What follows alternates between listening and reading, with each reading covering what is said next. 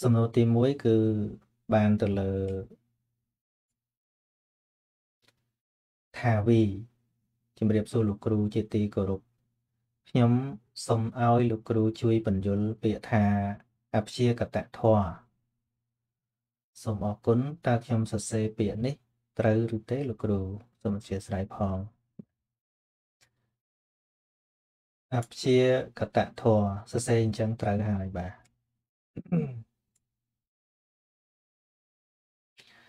ដែលជាធម្មតានៅក្នុងភាសាខ្មែរយើងហៅថាអព្យាក្រឹតហ្នឹងហើយអព្យាក្រឹតហ្នឹងក៏คล้ายមកពីភាសាបាលីសំស្ក្រឹតដែរដែលខ្មែរយើងចូលចិត្តប្រែថាមិនលំអៀងអព្យាក្រឹតភាពអញ្ចឹងណាប្រើនៅក្នុងសង្គមឧទាហរណ៍ដូចជាស្ថាប័នដែលអព្យាក្រឹតដូចជាស្ថាប័ន ព្រះមហាក្សត្រស្ថាប័នសាសនាហ្នឹងហើយពេទ្យហ្នឹងហើយជា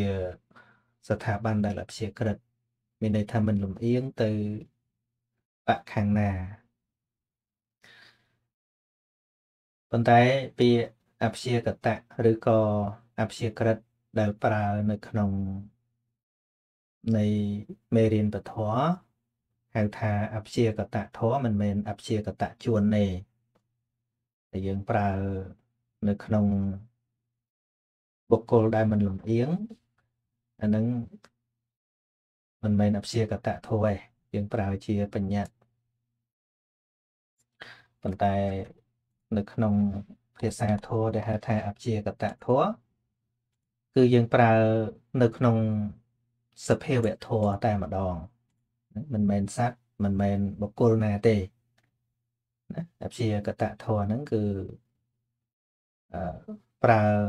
ជាពាក្យប្រើសម្គាល់នៅសភាវធម៌មួយយ៉ាង ដែលជាអព្យាក្រឹតឬថាជាអព្យាកតធម៌នឹងឯងហើយពាក្យថាអព្យាកតៈគឺមកពីពាក្យថាអ្នកហើយអ្នកហ្នឹងគេផ្លាស់ទៅជាអទៅ ហ្នឹងហើយប្រែថាមិនហើយហើយនឹងព្យាកតៈព្យាកតៈនឹងប្រែតែព្យាករនឹងឯងព្យាករកន្លែងនេះមិនមែនប្រែថាទុះទាយស្មានទុកទេព្យាករនឹងគឺថាចាត់ជា កំណត់ជាណាព្យាករនឹងណាព្យាកតៈនឹងគឺការកំណត់ឬក៏ចាត់ជាបែងចែកជា ដល់ទៅអព្យាកតៈមានន័យថាធัวនឹងមិនចាត់ជា អឺធัวពីរក្នុងបណ្ដាធัวធัวណាមួយក្នុងបណ្ដាធัวទាំងពីរអញ្ចឹងយើងទៅមើលនៅក្នុងអឺពួកធម្មាទាំងឡាយដែលមាន22តិកៈនោះហ្នឹងហើយតិកៈហ្នឹងប្រែទៅធัวពួក3ហើយមានទាំងអស់ពាវីសតិហ្នឹង22តិកៈអឺ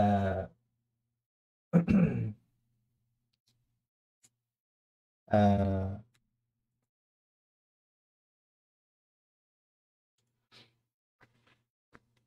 22ដោយសារមាន ក្នុងមួយតកៈវាមានពួកធោ3សរុបទៅវាមាន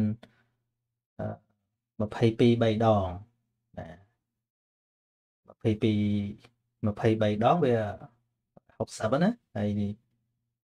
ពី3ដងទៀតវា6 66ធម្មាបាទ ធម្មានឹងមានអត្តន័យចែកដោយតិកៈនឹងមានដល់ទៅ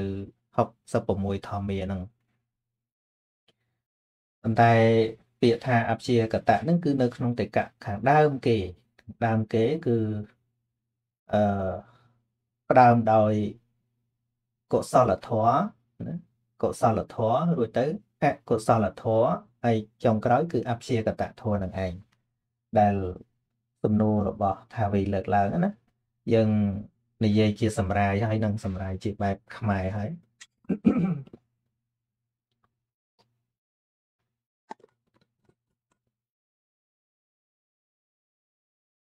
បាទអឺបើយើងសូត្រជាបាលីក៏បានដែរសូត្រថាកុសលាធម្មាអកុសលាធម្មា អព្យាកតាធម្មាហ្នឹងហើយអញ្ចឹងពួកធម៌ទាំងឡាយទោះបីជាមានច្រើនតិកៈយ៉ាងណាបរិយាយច្រើនប៉ុណ្ណាប៉ុន្តែឈ្មោះថាធម៌ណាមួយមិនរាប់ចូលក្នុងតិកៈទី1ហ្នឹងមិនមានទេមិនមានទេចឹងនៅក្នុងធម៌ទាំងឡាយហ្នឹងមានតែ3ប្រភេទហ្នឹងប្រភេទទី1ជាកុសលធម៌ជាធម៌ល្អ ដែលយើងប្រើពាក្យសាមញ្ញថាបនបនឬក៏អំពើល្អនឹងឯងណាហើយរួចទៅអកុសលធម៌អកុសលាធម្មាអកុសលាធម្មាហ្នឹងគឺពូអកុសលធម៌ដែលយើងប្រើពាក្យសាមញ្ញថាបាបបាបឬក៏ទុច្ចរិតឬក៏អំពើអាក្រក់ហ្នឹងឯងហ្នឹងហើយហើយមានធម៌មួយដែលមិនចាត់ជាកុសលណា មួយប្រភេទប៉ុន្តែមានច្រើនមេតិកាធម៌ណាដែលមិនចាត់ជាកុសល ហើយនឹងមិនចាត់ជាអកុសលទេហៅថាអព្យាកតធម៌មានន័យថាមិនព្យាករជាកុសលមិនព្យាករជាអកុសលទេអញ្ចឹងធម៌ណាដែលជាកុសលក៏មិនមែនអកុសលក៏មិនមែនធម៌នឹងឯងហៅថាអព្យាកតធម៌បាទដែលខ្ញុំចាំបាច់ត្រូវលើកពីរពួកមកទៀតហ្នឹងគឺដើម្បី ណាដើម្បីឲ្យយើងកាន់តែយល់ថាអឺអព្យាកតធោដែលធោមិនព្យាករហ្នឹងមិនព្យាករអីគឺថាមិនព្យាករថាជាកុសលមិនព្យាករថាជាអកុសលហើយ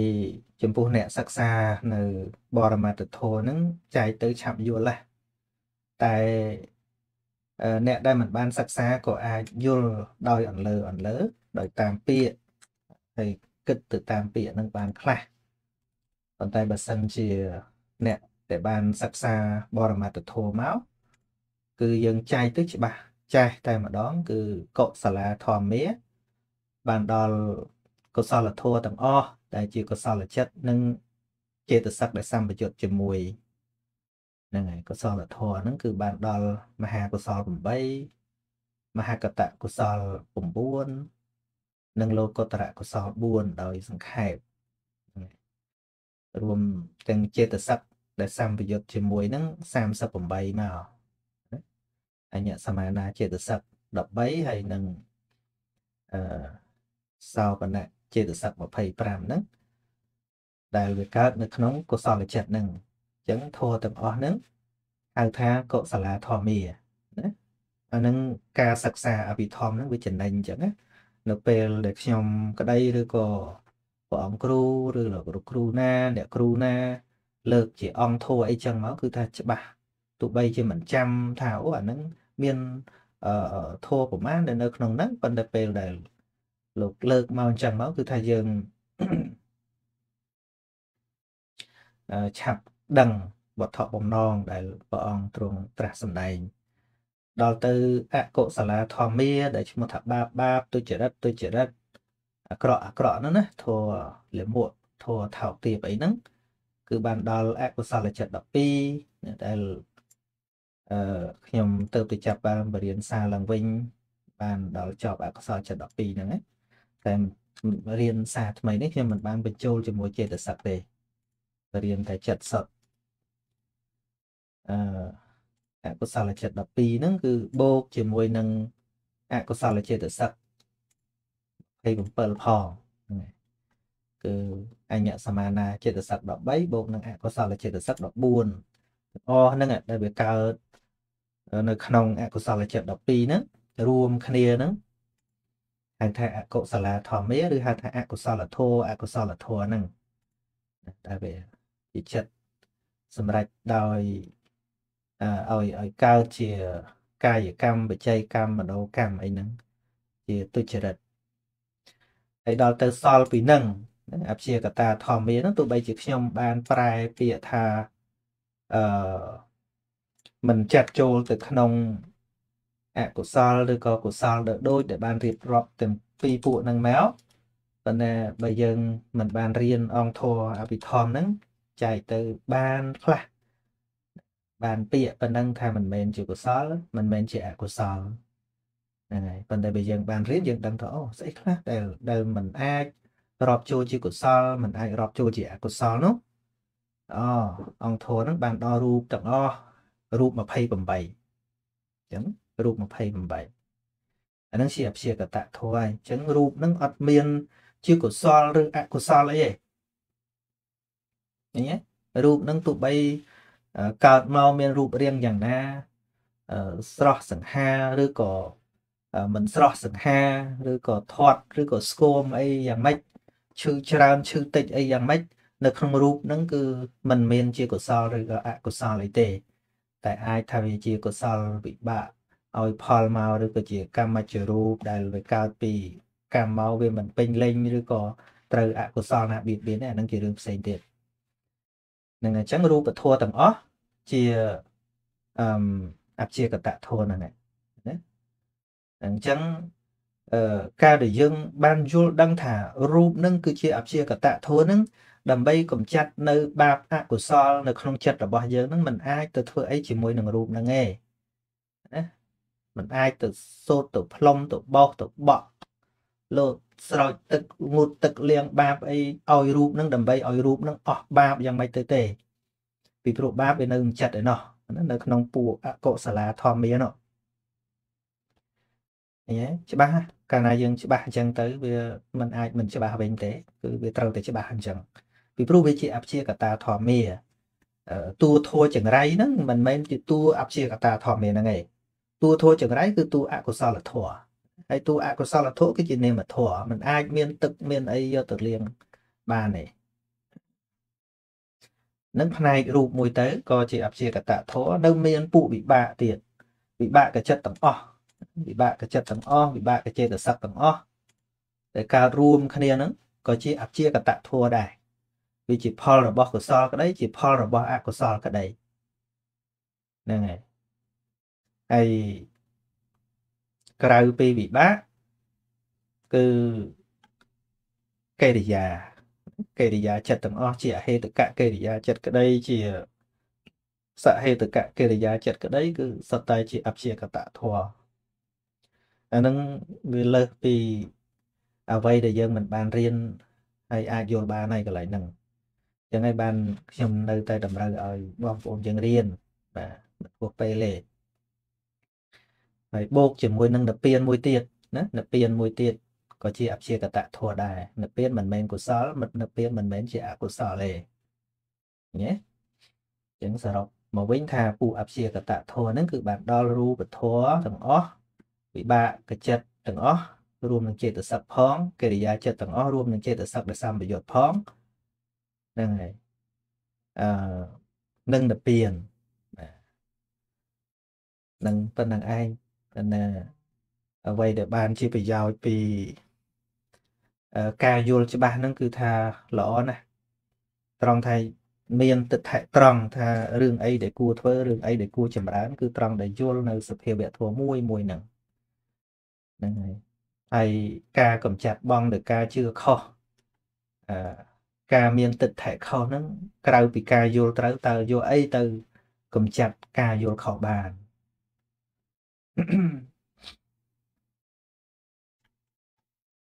ចឹងប៉ុណ្ណឹងណាហើយត្រូវរៀនទៀតឆ្លើយប៉ុណ្ណឹងគ្រាន់តែជាជា guideline មានន័យថាជាការណែនាំខ្លះខ្លះទេតែអាចយល់ដល់ជំរឿមែនទេហ្នឹងទល់តែរៀនឲ្យច្បាស់ថាតើស្អីជាអព្យាកតៈនឹងហើយធម៌ដែលគួរលះនឹងជាអ្វីធម៌ដែលគួរចម្រើននឹងជាអ្វីអញ្ចឹងយើងមិនវង្វេងទេ យើងចំណាយកម្លាំងចំណាយការព្យាយាមទៅវាចំផ្លូវដែលត្រូវធ្វើទៅវាចំណេញច្រើនណាស់វាមិនដូចការដែលចេញដំណើរដោយអត់ផែនទីឬក៏អត់ត្រីវិស័យទេ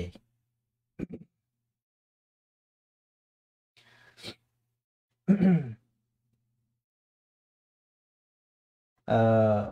ភីរុនជំរាបសួរលោកគ្រូខ្ញុំចង់សួរតកតងពុទ្ធប្រវត្តិបន្តិច កាលពីព្រះអង្គមិនយាង មិនយាងសាងព្រះភ្នោះគឺព្រះអង្គនៅសោយសុខក្នុងនគរនៅឡើយពេលនោះបើមិនមាន ទេវតានិមិត្តខ្លួនជាទេវទូតទាំង4ឲ្យព្រះអង្គឃើញទេតើព្រះអង្គអាចមានស្មារតីភ្ញាក់រលឹកយាងចេញសាងភ្នោះដោយអង្គឯងបានទេលោកគ្រូសូមអរគុណអឺយើងត្រូវដឹងថាអ្វីអ្វីវាកើតឡើងដោយសំហេតុសំបច្ច័យរបស់វា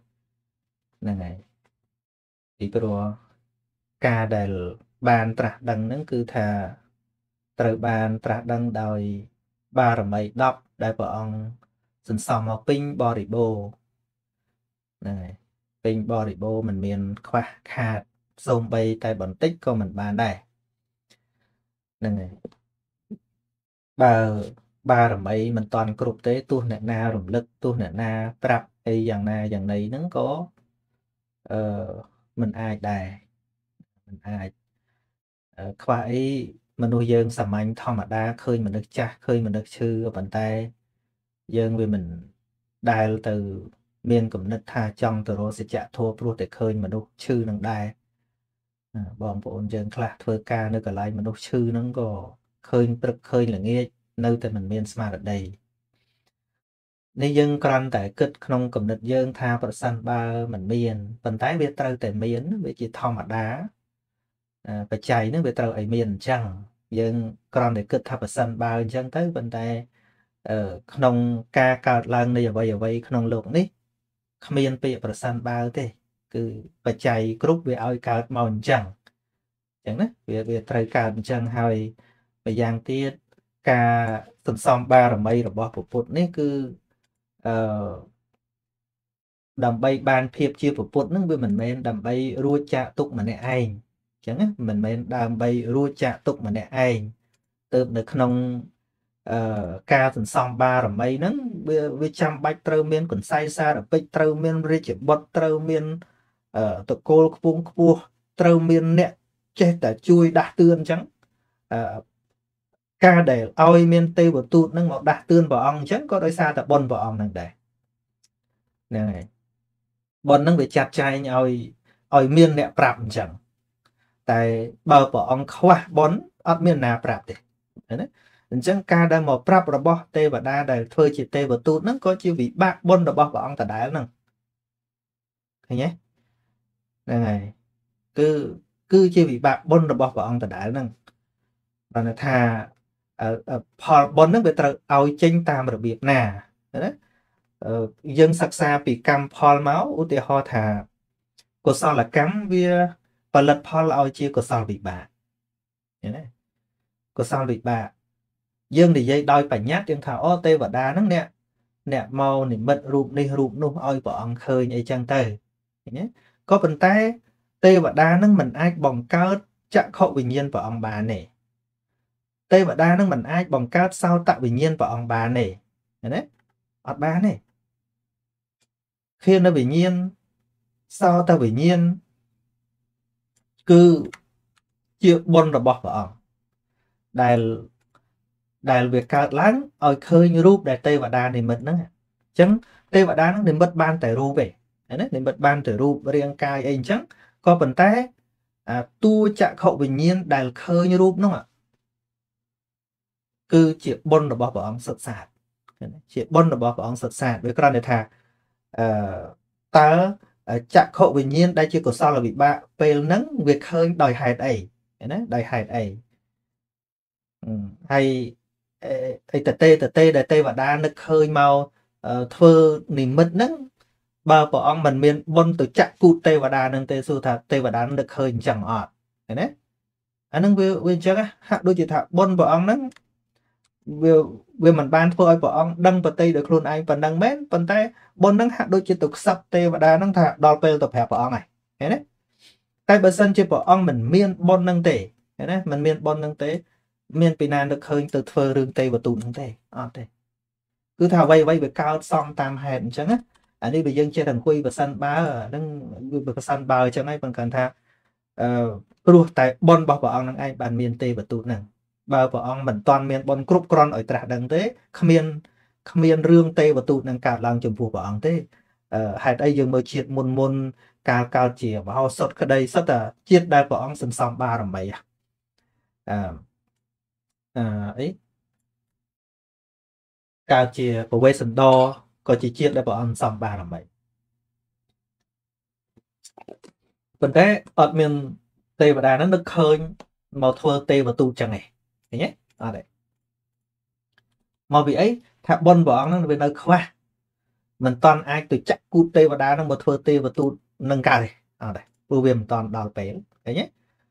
ឬក៏ព្រះអង្គសន្សំបារមីនៅជាសវណ្ណសាមនៅតែក្នុងព្រៃអីចឹងគ្មានទៅទេវទូតអីទេឃើញតែចាស់ឃើញតែអីព្រោះព្រះអង្គឃើញឃើញព្រះអង្គឃើញមេដាបៃតារបស់ព្រះអង្គចាស់នៅព្រៃហ្នឹងក៏វាមិនអាចមានជាបច្ច័យអីឲ្យ ឲ្យព្រះអង្គទៅសម្រេចជាសម្មាសម្ពោធិញ្ញាណនឹងបានដែរឃើញទេអញ្ចឹងសម្រាប់មកថាវាស្រេចហើយថាតើបុណ្យព្រះអង្គគ្រប់ឬអត់យើងអាចនិយាយចេះទៅវិញថាទោះបីមានឬមិនមានក៏ប៉ុន្តែបើបុណ្យនឹងវាគ្រប់ហើយគឺត្រូវទៅសម្រេចអញ្ចឹងណាដូចតែផលបាបអញ្ចឹងទីហោថាបាបវាត្រូវឲ្យផលមនុស្សនឹងត្រូវស្លាប់ដោយអកាលមរណៈហ្នឹងហើយវាអាចមានអ្នកដតីសម្លាប់អញ្ចឹងសំណួរសួរថា បើសិនបើមិនមានអ្នកដតីសម្លាប់ទេគាត់ស្លាប់ឬទេថាអត់ទេបើសិនជាបាបនឹងវាត្រូវឲ្យផលហើយទោះបីអ្នកដតីនឹងមិនសម្លាប់ក៏មនុស្សនឹងដើរទៅអាចផ្លាត់ធ្លាក់រងធ្លាក់ដៅបើកឡានបុកខ្លួនឯងស្លាប់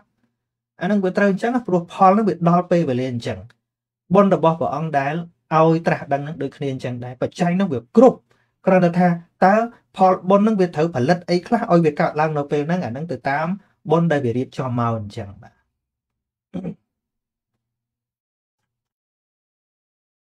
នឹងចាប់បានហើយណាអានឹងប៉ះសិនបើយើងនិយាយបានប៉ុន្តែអឺឆ្លើយមួយម៉ាត់វាពិបាកយល់ចឹងមកខ្ញុំត្រូវលើកហេតុផលថាបើប៉ុនគ្រប់ហើយវាគ្មានស្អីដែលរៀងស្ទះមិនឲ្យត្រាស់ដឹងបានទេចឹងណាហ្នឹងហើយហើយបើប៉ុនមិនគ្រប់ទេឃើញចាស់រាល់ថ្ងៃហ្នឹងក៏វាមិនទៅដែរហើយបន្តទៅទៀត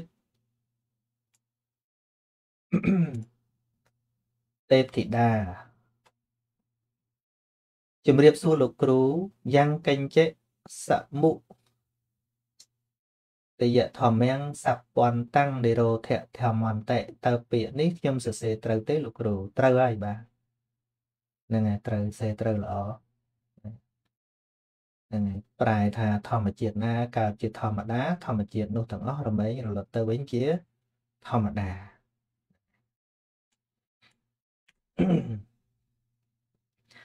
សុខចម្រើនជំរាបសួរលោកគ្រូដល់ជាទីគោរពសូមសួរថាបុគ្គលដែលបួសមុខភ្លើងរួចដោយមិនបានដឹងច្បាស់ធម៌វិន័យបានថ្វាយបង្គំសពដែលជាញោមតើនឹងមានបាបឬយ៉ាងណាដែរលោកគ្រូសូមអរគុណបាទបួសភ្លាមដែលមិនចេះមិនដឹងនឹងជាធម្មតាគឺអឺ សម័យពុទ្ធកាលក៏មិនមែនថាទល់តែចេះច្រើនបានបួសទេ ខ្លះនឹងបួសភ្លាមភ្លាមហ្នឹងហើយបួសភ្លាមភ្លាមមិនតាន់ចេះទេប៉ុន្តែអឺបានជាអនុញ្ញាតឲ្យបួសបាន គឺជាសាមណេរហ្នឹងគឺត្រូវតែនៅក្នុង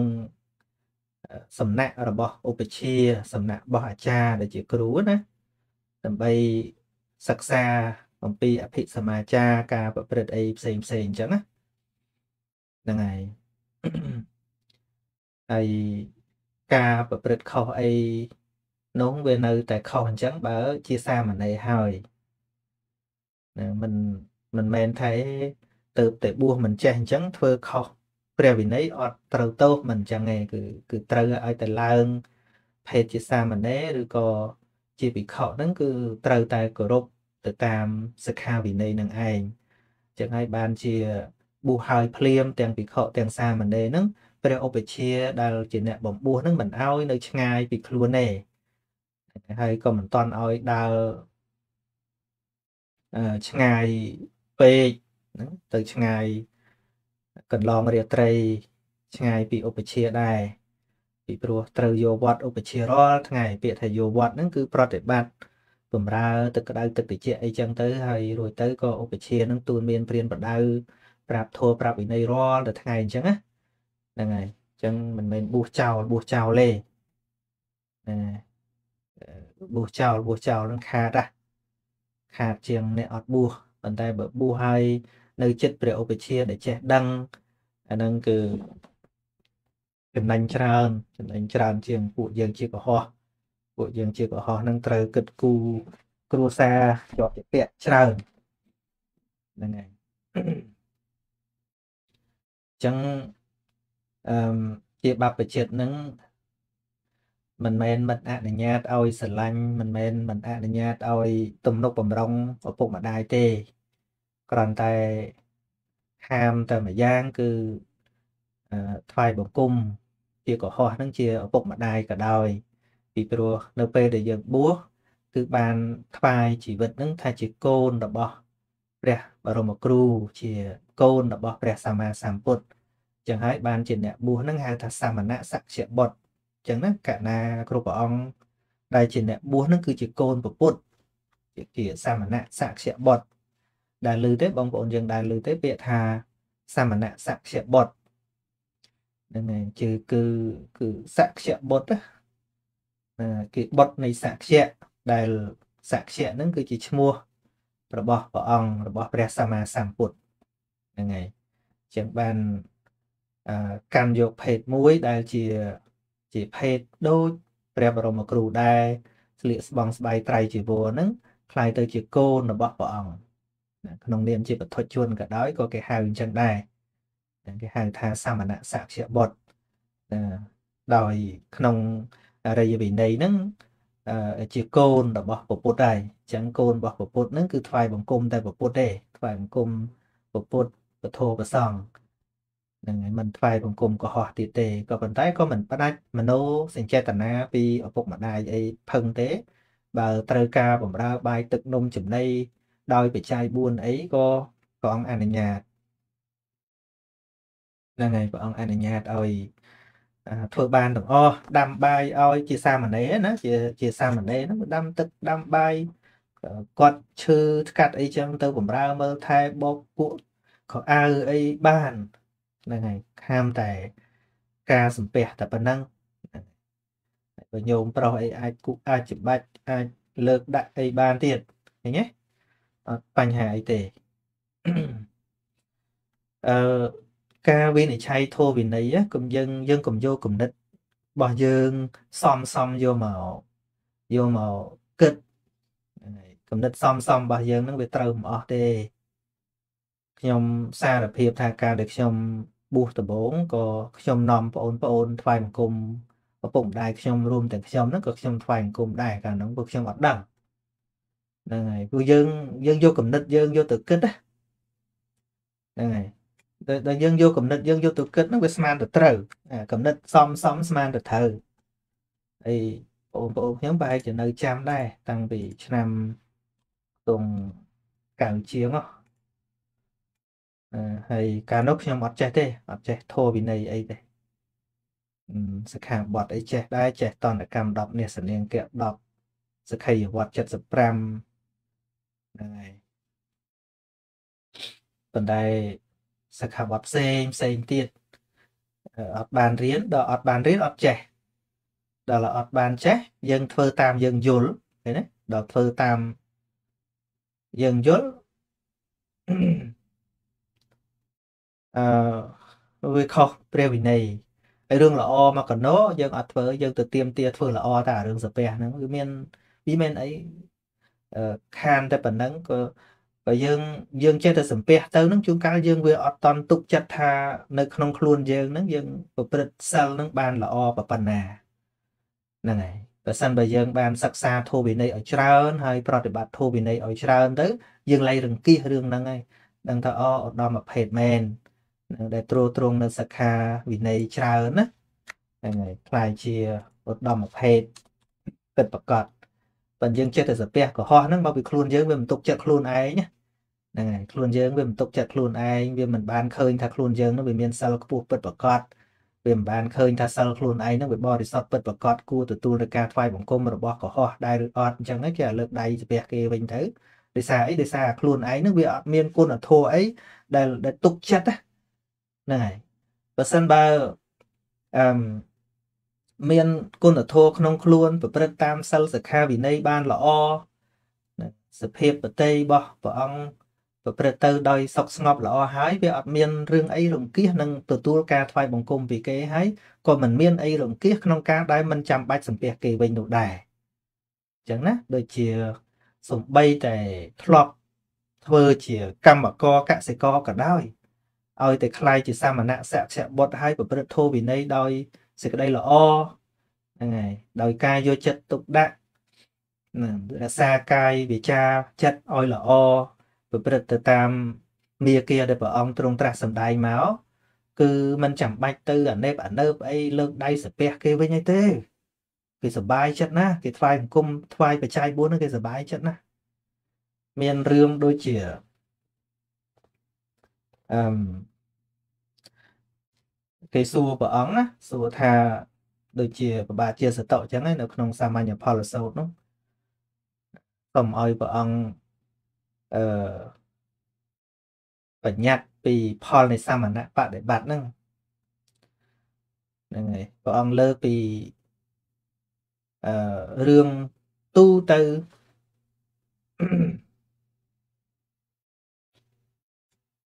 ណាទូទៅធម្មតាឲ្យយើងគិតឃើញណា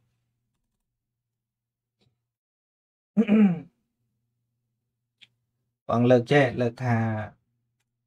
ឧបមាថាមានបរោះម្នាក់អឺធ្លាប់ជាអ្នកបំរើធ្លាប់ជាអ្នកធ្វើស្រែឲ្យព្រះអង្គព្រះរាជាហ្នឹងប៉ុន្តែថ្ងៃក្រោយមកក៏លះបង់ផ្ទះសម្បែងចូលមកកាន់ភ្នោះបួសជាបព្វជិតទៅគោរពធម៌វិន័យ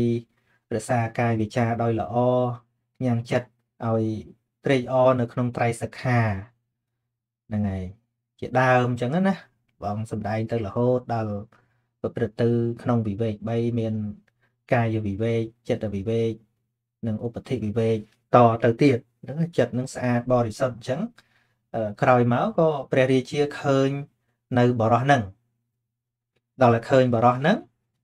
ដែលតាំងនៅក្នុងត្រៃសខាល្អអញ្ចឹងតើព្រះរាជា ត្រូវហៅទៅព្យួរស្រែឲ្យវិញទេព្រះរាជាថាអត់ទេព្រះអង្គហើយបើសិនជាមានបរោះល្អបែបហ្នឹងហ្នឹងហើយតាំងនៅក្នុងធម៌វិន័យល្អបែបហ្នឹងទាំងបតីក៏បងអោនទៅកាន់វិវេកអញ្ចឹងណា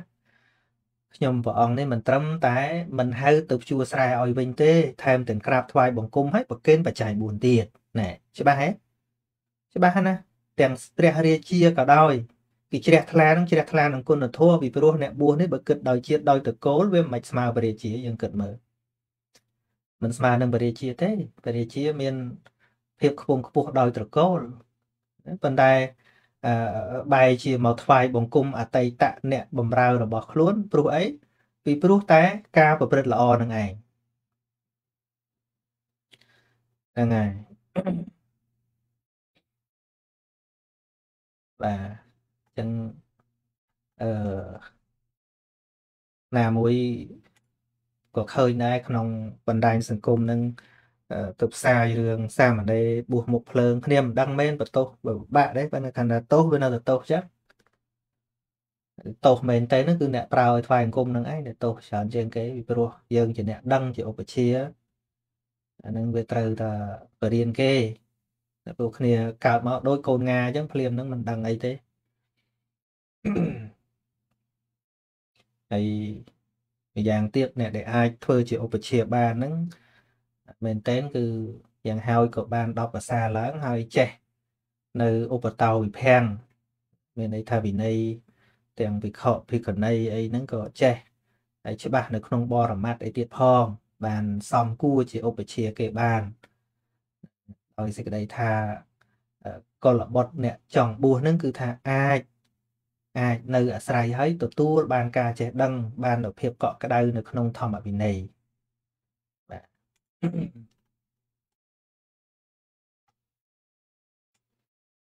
បន្តទៅទៀតគ្រូបង្រៀនស្រុកស្រែជំរាបសួរលោកប្អូន ពីខ្ញុំនៅខេត្តស្វាយរៀងប្រទេសកម្ពុជាខ្ញុំចង់ឲ្យលោកប្អូនពន្យល់ពីពាក្យថាពុទ្ធសាសនាមិនតាក់ទងនឹងខ្មោចខ្ញុំរាប់ លោកប្អូនពន្យល់កាលនៅបបជិតថា ពុទ្ធសាសនា មាន តែធម៌វិន័យតែខ្ញុំសួរគុណម្ចាស់ផ្សេង ថាតកតងខ្មោចទៅវិញសូមបងប្អូនជួយបញ្យល់ម្ដងទៀតបាទអឺពីព្រោះពុទ្ធសាសនា គឺធម៌វិន័យនឹងឯងបើវាចានៅធម៌វិន័យហើយមិនមែនជាពុទ្ធសាសនាទេទោះបីជាគេនិយាយថានឹងជាពុទ្ធសាសនាក៏ដោយ បាទរីឯតកតងឬមិនតកតងវាអាស្រ័យទៅលើអ្នកនិយាយបញ្យលនោះចង់និយាយរឿងអីបើទោះជាការបង្រៀនបង្រៀនពីកម្មផលនិយាយពីកំណើតផ្សេងផ្សេងក៏ការនិយាយទាំងនោះ គឺជាធម៌វិន័យនឹងឯងដែលជាមេរៀនបង្រៀនយើងអឺអំពីអ្វី សំបីតែពាក្យថាខ្មោចថាអីហ្នឹងក៏ជាពាក្យសន្មត់ដែលយើងប្រើបណ្ឌធាតពិតកំណើតក្នុងโลกនេះមាន31ភូមិហ្នឹងដែលព្រះអង្គបរៀនមកគឺมันមានពាក្យថាខ្មោចទេនឹងតែពាក្យคลายដែលយើងប្រើនៅក្នុងសង្គមបើធាតពិតដែលយើងហៅថាខ្មោចលងខ្មោចចូលខ្មោចធ្វើអីជាដើមហ្នឹងវាមិនមានអីក្រៅពីពួកប្រែពួកយៈអី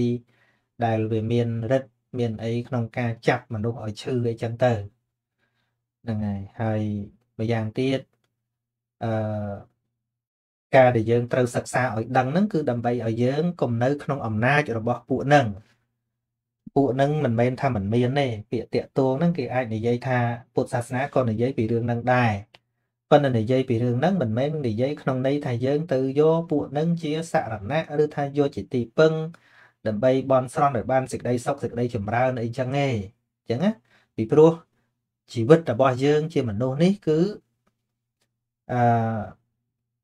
មានសភាពប្រសើរនៅក្នុងសុគតិភូមិមនុស្សហ្នឹងជាជាសម្បត្តិនៅក្នុងសុគតិភូមិជាភូមិសុគតិជាភូមិល្អដែលពួកខ្មោចព្រាយបិសាចអីដែលយើងនិយាយហ្នឹងគ្នាប្រាថ្នាមកកើតអត់បានទេពួកហ្នឹងលហេមលហាមជាងយើងបនតិចជាងយើងហ្នឹងហើយហើយចំពោះពួកហ្នឹង ក៏ព្រះបរមគ្រូព្រះអង្គទ្រង់ត្រាស់សម្ដែងមានតែការអនុគ្រោះ មានតែការផ្សាយមេត្តា មានតែការអនុគ្រោះពួកហ្នឹងពីព្រោះពួកហ្នឹងខ្វះសេចក្តីសុខច្រើនហ្នឹងហើយខ្វះសេចក្តីសុខច្រើនទៅជួនកាលក៏កើតទៅជាការមួម៉ៅធ្វើឲ្យមនុស្សឈឺមនុស្សអីចឹងទៅវាមានមិនមែនអត់ទេក៏ប៉ុន្តែដែលយើងត្រូវរៀនឲ្យច្បាស់ហ្នឹងគឺថារៀនហើយយើងមានខ្លួនឯងជាទីពឹងពួកនោះមិនអាចធ្វើអីយើងបានទេថែមទាំងជាសត្វដែលយើងត្រូវអនុគ្រោះ សត្វដែលយើងត្រូវចែកបុណ្យសត្វដែលយើងត្រូវចម្រើនមេត្តាទៅប៉ុណ្ណោះនឹងប៉ុន្តែបើយើងមិនបានសិក្សាឲ្យដឹងនៅតម្លៃនៃគុណប្រយោជន៍កើតមកជាមនុស្សមានកំណត់ក្នុងសុគតិទេយើងទៅបន្ថោកបន្ទាបជីវិតខ្លួនឯងអន់ជាងខ្មោចជាងព្រាយបិសាចយកពួកព្រាយបិសាចហ្នឹងមកដាក់លើផ្ទះគេនេះអ្នកខ្លាំងរៀបអាសនៈប៉ុនបណ្ណានៃនៅលើផ្ទះហ្នឹងយកអាកំណើតថោកទាបហ្នឹងយកមកគោរពយើងដោយសារតែយើងមិនមិនយល់ពី គុណតម្លៃនៃកំណើតមនុស្សដែលយើងបានដែលពួកខ្មោចព្រាយបិសាចនោះគ្នាប្រាថ្នាចង់កើតជាមនុស្សអត់បានហ្នឹងហើយសូម្បីតែកន្លែងនៅក៏គ្មានលហេមលហាមព្រោះ AC ក៏មិនបានដើរលិតដើរស្រូបគម្រងខ្មោចកក្រិចឬក៏យូរយូរទៅកើតបាបទៅធ្វើគេឲ្យឈឺទៅហើយរាល់ការដែលទៅធ្វើគេឲ្យឈឺហ្នឹងមិនមែនមិនបាបទេបាបណាអញ្ចឹងបាននៅក្នុងពពួកប្រែត21ហ្នឹងមាន ប្រែតមួយគេហៅថាពីមុនហ្នឹងហៅថាស្រីមេមុតធ្លាប់កើតជាទាស័យយៈហ្នឹងដែលដែលមកធ្វើដូចជាខ្មោចដូចជាព្រាយដើរបំភ័យគេដើម្បីទាយកនៅគ្រឿងសក្ការៈបូជាអញ្ចឹងទៅធ្វើឲ្យគេភ័យធ្វើឲ្យគេឈឺទៅហើយគេបូជាទៅបានជាទៅខ្ញុំប្រាប់កលឹះថាពួកខ្មោចពួកព្រាយនេះมันអាចព្យាបាលយើងបានទេបងប្អូនទាំងឡាយបើវាធ្វើឲ្យយើងឈឺបានណាឧទាហរណ៍ថាវាមកចាប់ឲ្យយើងឈឺហើយរួចតែវាឈឺទៅ អឺយើងថ្វាយនេះថ្វាយនោះវាសុបាយចិត្តវាទៅប្រឡែងលែងឲ្យឈឺហើយយើងវាបានអាការចងចាំពីអាការដែលខ្មោចព្រាយនឹងវាចាប់ឲ្យឈឺហើយហើយដល់តែយើងបន់ទៅវាបានជាអញ្ចឹងទៅយើងយើងទៅជាគិតថាខ្មោចនោះវាប្រកែអត់ទេពួកនឹងខូចបើជំងឺយើងមានដោយមេរោគជំងឺយើងមានដោយអីពួកនឹងព្យាបាលមិនកើតទេវាអត់ចេះព្យាបាលទេវាអត់ចេះព្យាបាលទេ ប៉ុន្តែវាមានរឿងមួយមួយឈឺឈឺទៅជាហ្នឹងគឺជំងឺដែលពួកខ្មោចហ្នឹងវាធ្វើអញ្ចឹងណាខ្ញុំលើកជាឧទាហរណ៍ឧទាហរណ៍ដូចជាអឺភិក្ខុមួយអង្គលោកទៅធ្វើសមណធម៌នៅរូងភ្នំមួយធិតពិតទៅមានពួកទេវតាពួក អឺទេវតាចន់ទៀបនៅ ក្នុងចាតមហារាជការហ្នឹងនៅក្នុងរូងភ្នំហ្នឹងហើយនៅពេលដែលអឺលោកនិមន្តចេញចូលតាមរូងភ្នំនៃលោកសម្រាប់ហ្នឹងទេវតាហ្នឹងមិនហ៊ាននៅពីលើលោកទេលោកជាបុថុជនក៏ពិតមែនប៉ុន្តែលោកមានសិលល្អណាមានសិលល្អនៅពីលើមិនបានទេអញ្ចឹងត្រូវចុះ រហូតពេលដែលលោកចូលក៏ចុះពេលលោកចេញក៏ចុះហើយគាត់ជួនវាចិត្តដល់ពេលចាំភាសាហើយដល់ពេលចិត្តចាំភាសាមកដល់វាគិតថាចេះគិតថាអឺបើសិនជាលោកនឹងនៅចាំភាសា3ខែទៀតងាប់អីអញឡើងចុះឡើងចុះឲ្យតែមកអញត្រូវតែចុះអញ្ចឹងរវល់ងាប់ខ្ជិលអញ្ចឹងអញត្រូវធ្វើឧបាយយ៉ាងម៉េចធ្វើឲ្យឲ្យឲ្យពិខុនឹងកុំនៅកន្លែងនឹងបាន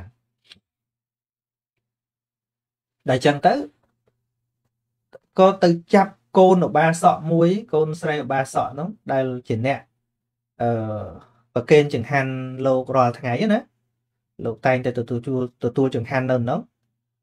ហ្នឹងហើយទៅចាប់ឲ្យឈឺយើងហៅថាខ្មោចធ្វើហ្នឹងណាប៉ុន្តែពិតក្នុងពាក្យធោះហៅថាទៅចាប់ទៅចាប់ឲ្យឈឺហ្នឹងហើយតទេតទេកូននឹងឈឺអត់ដឹងខ្លួនដល់ឈឺទៅទេវតានឹងទៅពយល់សព បាសក់នឹងថាទល់តែសុំឆ្នាំពីពីខុហ្នឹងទៅទៅកូននឹងជាហ្នឹងហើយដល់តែចឹងទៅក៏អឺពេលដែលភិក្ខុនឹងនិមន្តទៅឧបាសកនឹងគាត់ឆ្លាតគាត់ក៏ដឹងដែរថាធម្មតាអ្នកបួសមិនអាចឲ្យឆ្នាំមិនអាចមើលជំងឺមិនអាចប្រើមុនអាគមអីបានទេ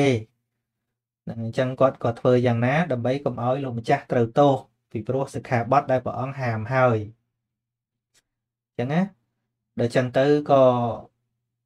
អឺពេលដែលលោកនិមន្តមកកិច្ចវត្តទទួលលោកនឹងត្រូវមានទឹកលាងជើងលាងប្របាទលោកមុននឹងឡើងលើផ្ទះហើយលាងប្របាទលោកហើយគាត់ត្រងទឹកហ្នឹងអឺក៏សួរសួរលោកថាលោកម្ចាស់ទឹកសល់នេះខ្ញុំមិនណាយកទៅប្រើប្រាស់បានទេ លោកក៏គិតថាវាគ្មានខុសអីទឹកទឹកហ្នឹងលាងចោលមិន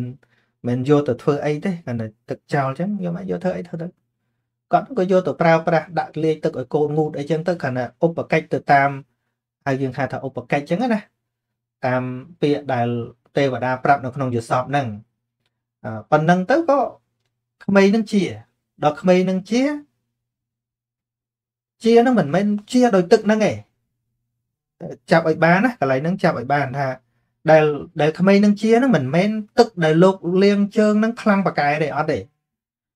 គឺទេវតាហ្នឹងកំពុងតែព្យាយាមដាក់កំហុសឲ្យលោកចោតថាលោកឲ្យឆ្នាំចោតអញ្ចឹងណាតាមពិតដែលក្មេងនឹងឈប់ឈឺហ្នឹងមកពីទេវតាហ្នឹងប្រឡែងឈប់ចាប់ណាឈប់ចាប់ប្រឡែងទៅក្មេងនឹងជាទៅដល់ពេល លោកនិមន្តទៅកន្លែងលោកវិញហ្នឹងកន្លែងគុហាភ្នំហ្នឹងស្រាប់តែទេវតានោះគេឈួរជំទែងពីលើរូងហ្នឹងមកឲ្យលោកឃើញមកអញ្ចឹងថាទៅពីថ្ងៃហ្នឹងទៅឈប់ឈប់ចូលរូងឡើងទៀតលោកឯងខ្ញុំមិនត្រូវការពិខុទ្រុសសិលមកនៅក្នុងរូងភ្នំហ្នឹងទេខ្ញុំពេញចិត្តឲ្យតែពិខុណាអ្នកមានសិលជាទីស្រឡាញ់ទេពិខុទ្រុសសិលអញ្ចឹង មិនបាច់មកទេពេជ្រយន្តទេវតាក៏ចេះខូចដែរបាទខូចបកណូយើងគោរពច្រឡំតែពួកទេវតាខូចទេវតាល្អល្អយើងមិនដែលនឹកហ្នឹងហើយហើយដល់ចឹងទៅលោកក៏គិតមើលអីឯងត្រូវទោសអីចេះបានទេវតាថាឯងត្រូវទោសអញ្ចឹងដល់ពេលអញ្ចឹង ពងតនឹកទេវតាដែរមិនបាច់នឹកយូរនឹកដល់ថ្ងៃហ្នឹងនឹកតែថ្មីថ្មីឥឡូវឥឡូវហ្នឹងមិញមិញណាធ្វើអីខ្លះដឹងហើយហ្នឹងហើយធ្វើអីខ្លះដឹងហើយ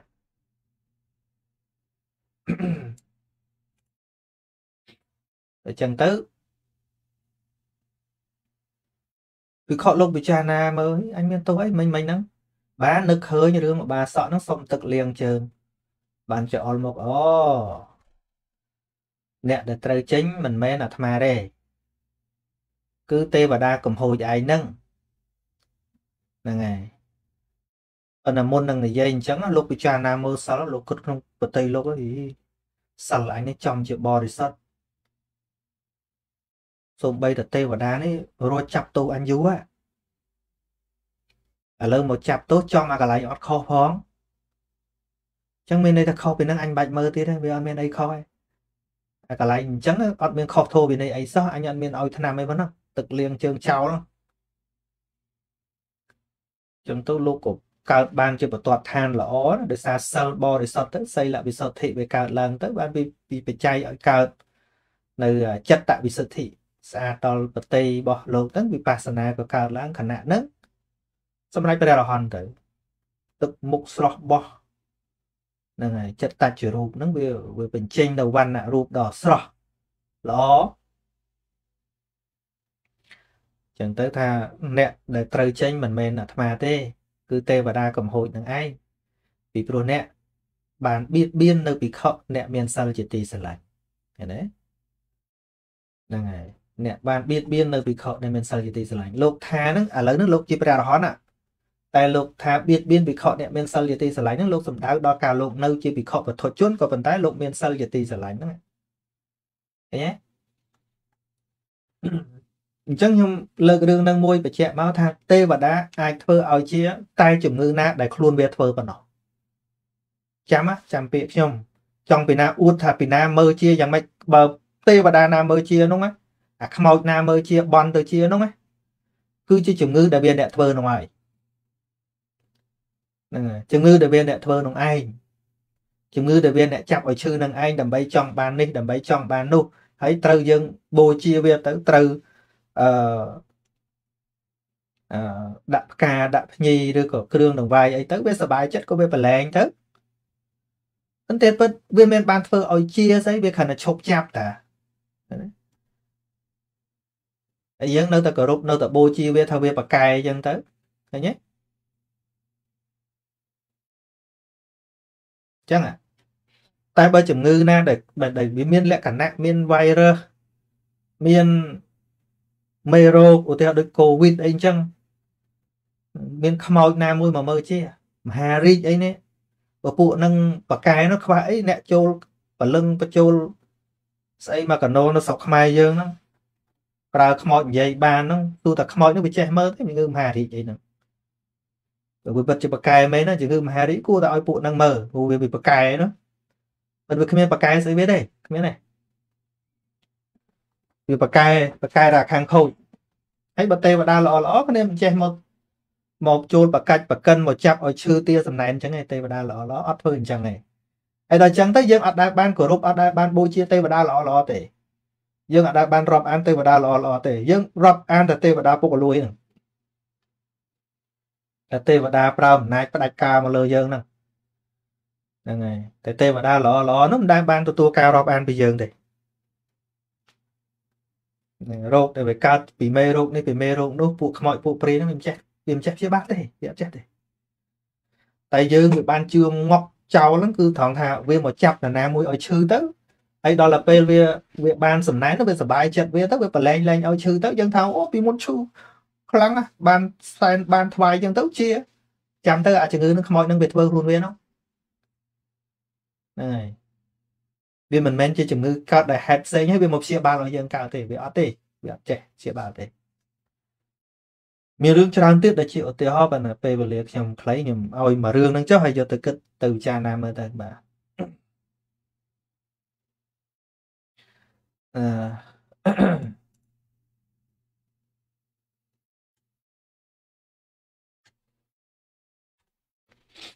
ពេជ្រយន្ត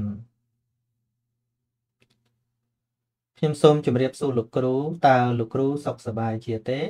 អឺអឺចម្លើយធម្មតាថាសុខសប្បាយធម្មតាប៉ុន្តែបើចម្លើយតាមសភាវៈពិតថាជីវិតនេះគ្មានអីសុខទេអញ្ចឹងណាគឺជាការប្រព្រឹត្តទៅនៃទុកនឹងឯងគួយយូរមិនបានឈរយូរមិនបានដើរយូរមិនបានដេកយូរមិនបាន ណាវាត្រូវតែប្រែប្រួលត្រូវតែ មានការផ្លាស់ប្ដូរតែនិយាយភាសាសាមញ្ញថាសុខសប្បាយធម្មតា តែខ្ញុំឧស្សាហ៍ប្រើពាក្យថាអាចប្រព្រឹត្តទៅបានណាយកមួយណាក៏បានដែរណានាងខ្ញុំមានសំណួរចង់សួរថាតើចិត្តហេតុអ្វី ពេលយើងធំឡើងស្រាប់តែបដូរចរិតខុសពីក្មេងទាំងដែលមនុស្សតែមួយសោះ នឹងកាលពីក្មេងខ្ញុំជាមនុស្សរស់រាយនិយាយច្រើនដល់ពេលធំឡើងស្រាប់តែមិនសូវចេះនិយាយប្រែជាស្ងប់ស្ងាត់ហើយមិនសូវហ៊ាននិយាយជាមួយគេធ្វើម៉េចអាចឲ្យយើងហ៊ាននិយាយមិនខ្លាចគេហើយមួយទៀតតើសេចក្តីខ្ជិលវាជាលោភៈមូលចិត្តតើមានធម៌អ្វីអាចកាត់បន្ថយឬបំបត្តិវាបានទេ ឬធ្វើម៉េចឲ្យយើងឧស្សាហ៍លះបង់នៅសេចក្តីខ្ជិលបានមួយទៀត តើការធ្វើចិត្តឲ្យជ្រះថ្លាធ្វើចិត្តឲ្យស្អាតមានន័យថាម៉េចតើចិត្តដូចម្ដេចទៅជាចិត្តស្អាតសូមលោកគ្រូឆ្លើយដោយអនុគ្រោះ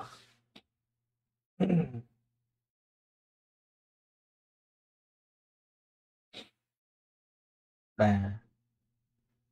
អឺការប្រែប្រួលពីក្មេងនិយាយច្រើនធំឡើងមិននិយាយអឺចម្លើយតែមួយយ៉ាង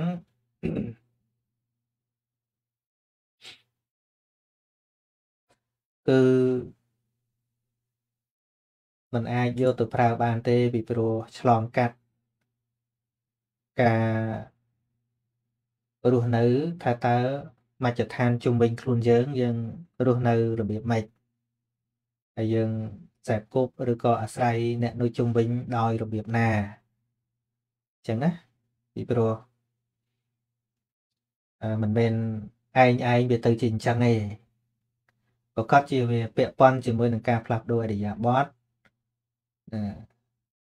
ការតំណាក់តំណងឬក៏បរិយាកាសជុំវិញជីវិតរបស់យើង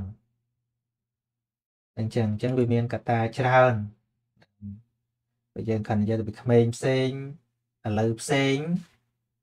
គឺវាមិនមែនឯងឯងផ្លាស់ប្ដូរវាមានបច្ច័យរបស់វាណាមានបច្ច័យដែលនាំឲ្យផ្លាស់ប្ដូរនឹង ហើយម្យ៉ាងទៀតភាពត្រឹមត្រូវឬមិនត្រឹមត្រូវនឹងវាមិនសំខាន់ថាតើនិយាយច្រើនឬនិយាយតិចទេហ្នឹងហើយជួនកាលมันកំណត់ថាការមិនសូវនិយាយហ្នឹងវាជារឿងខុសទាស់នោះទេហើយក៏มันកំណត់ថាការនិយាយច្រើនហ្នឹងសុទ្ធតែត្រឹមត្រូវដែរសំខាន់ថាតើយើងនិយាយហ្នឹងវាមានប្រយោជន៍ឬអត់អញ្ចឹងណា បើនិយាយពីការនិយាយតិចហើយមិនចេះនិយាយមិនសូវក្លាហាននិយាយខ្ញុំហ្នឹងឯងកាលពីក្មេងអឺចេះលេងចេះសើចអីចឹងដែរប៉ុន្តែខ្ញុំឲ្យតែនរណានិយាយសម្ដីខ្លាំងខ្លាំងអឺ និយាយស្រែកកំហកដាក់អីហ្នឹងខ្ញុំអត់មានពាក្យតនឹងគេទេអត់អត់អត់ចេះស្រែកតគេវិញណាអត់ចេះដែរហើយនិយាយសាមញ្ញថាខ្ញុំចាញ់ច្រាបគេហើយអត់ចេះនិយាយខ្ញុំក៏អត់ចេះនិយាយតែពីក្មេងចេះនិយាយលេងសើចគ្នាអីអញ្ចឹងប៉ុន្តែ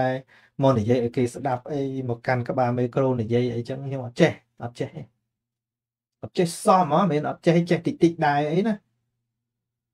និយាយលេងសើចលក្ខណៈគ្រួសារអីហ្នឹងចេះមិនអត់ទេប៉ុន្តែមកកាន់ក្បាលមេក្រូនិយាយហ្នឹងកុំថាឡើយ10ម៉ាត់មួយម៉ាត់ខ្ញុំមិនចេះនិយាយផងអត់ចេះទេប៉ុន្តែឥឡូវមិនក៏និយាយច្រើនម៉េះឲ្យតែក្បាលក្បាលមេក្រូមកអាហ្នឹងវាកើតពីអេរិយាប័តរបស់យើងយើងយើងយើងផ្ដើមមកធ្វើយ៉ាងណាណាដូចអឺកាលដែលខ្ញុំបួសដំបូងបានប្រហែលដូចជា3ថ្ងៃមិនដឹងទេ ត្រូវលោកគ្រូសោតនឹងចាប់ឲ្យឡើងទេសនាក្រេ2ហើយវាអត់ចេះដល់អត់ចេះលោកឲ្យអានសភៅទៅខ្ញុំពឹតតែអានឲ្យតែញក់ហ្នឹងហើយជូញាក់មុខញាក់មាត់វិភ័យហើយក្មេងក្មេងក្មេងក្មេងគ្រាន់កាលនោះខ្ញុំនៅតូចតូចបួសតូចតូចចឹងទៅមិនសូវមានលោកតូចទៅណាក៏គេហៅកូនលោកកូនលោកកាលហ្នឹង ឆ្នាំ92ហ្នឹងហើយសម័យនោះមិនសូវមានទូរទស្សន៍អីទេក្មេងៗរត់លេងពេញតែភូមិហ្នឹងហើយមានសាលាបុណ្យមួយនៅភូមិមួយទៀតឈ្មោះភូមិពងទឹកហ្នឹងប្រាប់ថាអឺឮថាខ្ញុំឡើងទេសនាអញ្ចឹងក្មេងៗសកលគ្នារៀនថ្នាក់ជាមួយគ្នានោះស្រែកតគ្នាអូអូលោកជាទេសនាវ៉យលោកជាទេសនាវ៉យអញ្ចឹងមក រត់មកឡើងលើសាលាហ្នឹងសឹងតែបាក់ចាស់ចាស់ភ័យពូនពេញទៅសាលាមកមើលខ្ញុំឃើញមនុស្សមកអញ្ចឹងញាក់មុខញាក់មាត់ភ័យក្តៅពេញទៅខ្លួនហ្នឹងហើយដល់អញ្ចឹងអត់មួយម៉ាត់ក៏ខ្ញុំក្រៅពីសភៅគ្មានមួយម៉ាត់ទេអត់ទេអត់ចេះទេអញ្ចឹងអាភាពភ័យអញ្ចឹងមានទេខ្ញុំមានមានដោយសារអ្នកសួរសួរ ថាឥឡូវហ្នឹងដូចថាมันអាចនិយាយដូចរៀងខ្លាចគេអីចឹងសួរថាធួអញ្ចឹងខ្ញុំមានទេមានតាខ្ញុំមានហ្នឹងហើយខ្ញុំមានតាហើយមកក្រេដែលខ្ញុំតេស្តដំបូងហ្នឹងទៅចាំទៅដូចបាន5បើមិន5000រៀល3000រៀលចែកគ្នាពាក់កដាលក្រេ2ក៏ដល់យូរទៅច្រឡំលុយទៀតដូចដូច3000រៀលចឹងហើយបាន1500ម្នាក់ លុយកាលហ្នឹងវាថ្លៃដែរហើយ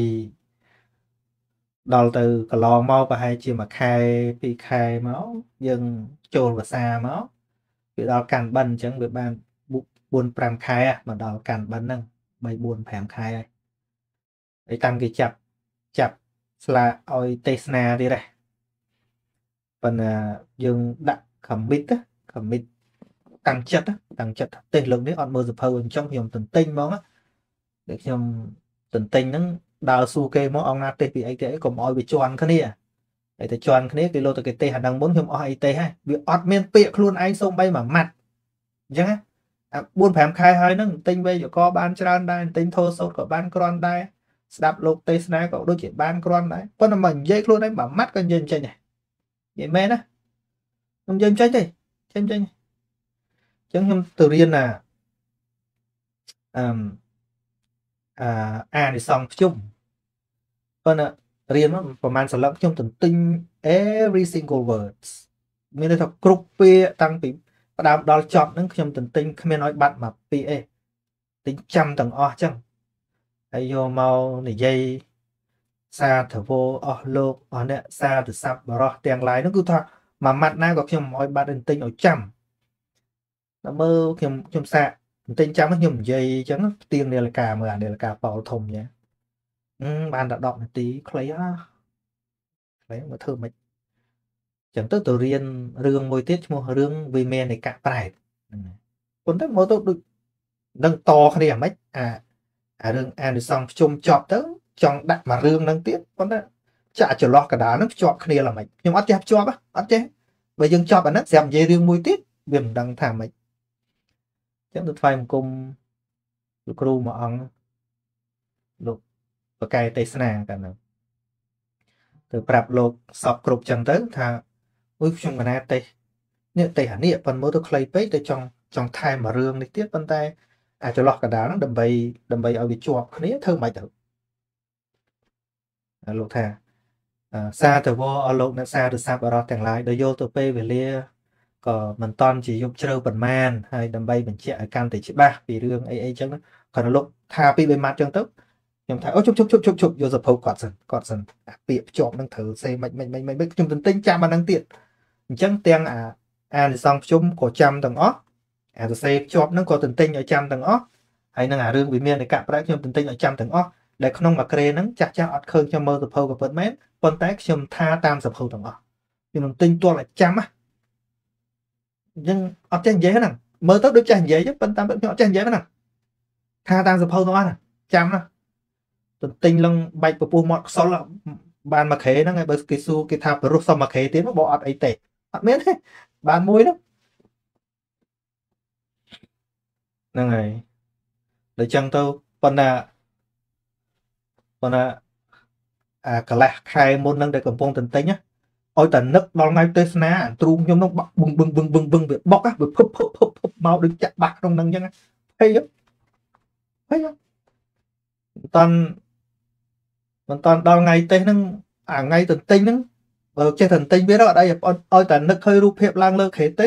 តាំងអានឹងបុកភពភពភពភពមកទៀតហ៎អញ្ចឹងទៅទៅអានវិធីសាស្ត្រធ្វើម៉េចកុំឲ្យប្រភ័យ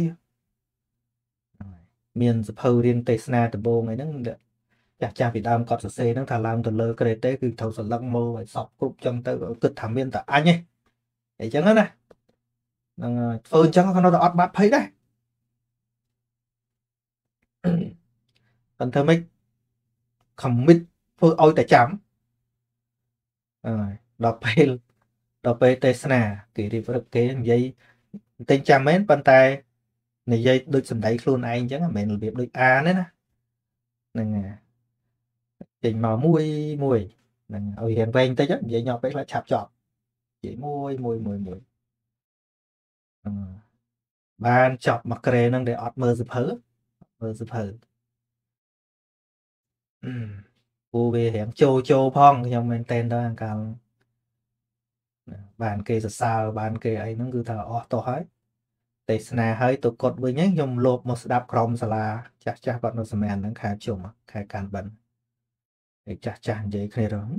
នេះនេះទៅបួសថ្ងៃណានេះទេសឡងប្រុយអត់មើលសភៅអូដេកអប្រហែលយប់ប៉ុន្តែកុំលោទៅសុំទេសមកក្រេជាប់គ្នាទៀតអត់មានអីទេសទេទេសបដាតបានអញ្ចឹងជាការនិយាយមិនថាខ្ញុំក៏អត់ចេះនិយាយដែរអញ្ចឹងណាខ្ញុំក៏អត់ចេះនិយាយដែរហ្នឹងហើយដូចតែគ្នាទេប៉ុន្តែស្អីក៏ដោយឲ្យតែធ្វើដដែលដដែលយូរទៅ វានឹងកាន់តែមានជំនាញម្ដងបន្តិចម្ដងបន្តិចម្ដងបន្តិចសំខាន់ស្អីដែលយើងចូលចិត្តហ្នឹងហើយចង់កែប្រែទៅជាយ៉ាងណាមួយយើងត្រូវជ្រើសរើសចំណុចមួយដែលយើងចូលចិត្តសិនហ្នឹងហើយដូចការនិយាយធម៌ផ្សព្វផ្សាយពធវាជាចំណុចដែលខ្ញុំចូលចិត្តអញ្ចឹងខ្ញុំអត់ដូរទិសដៅទេទិសដៅខ្ញុំតែមួយនឹងដដែល ខ្ញុំអាចដូរវិធីវិធីរៀនវិធីធ្វើវិធីនិយាយក៏ប៉ុន្តែខ្ញុំមិនដូរទិសដៅទេពីព្រោះជារឿងចូលចិត្តអញ្ចឹងជំរាបទៅអឺអ្នកសួរថាចង់ផ្លាស់ប្ដូរខ្លួនឯងធ្វើម៉េចឲ្យចេះនិយាយហ្នឹងអញ្ចឹងយើងត្រូវមើលថាទៅយើងចង់ខ្លាយជាអីហើយយើងចង់ចេះនិយាយហ្នឹងនិយាយដើម្បីអីទៀតអញ្ចឹងណា បើខ្ញុំខ្ញុំចង់ចេះនិយាយដើម្បីអីដើម្បីបញ្ជូននៅអ្វីដែលខ្ញុំយល់នឹងឲ្យគេអញ្ចឹងណា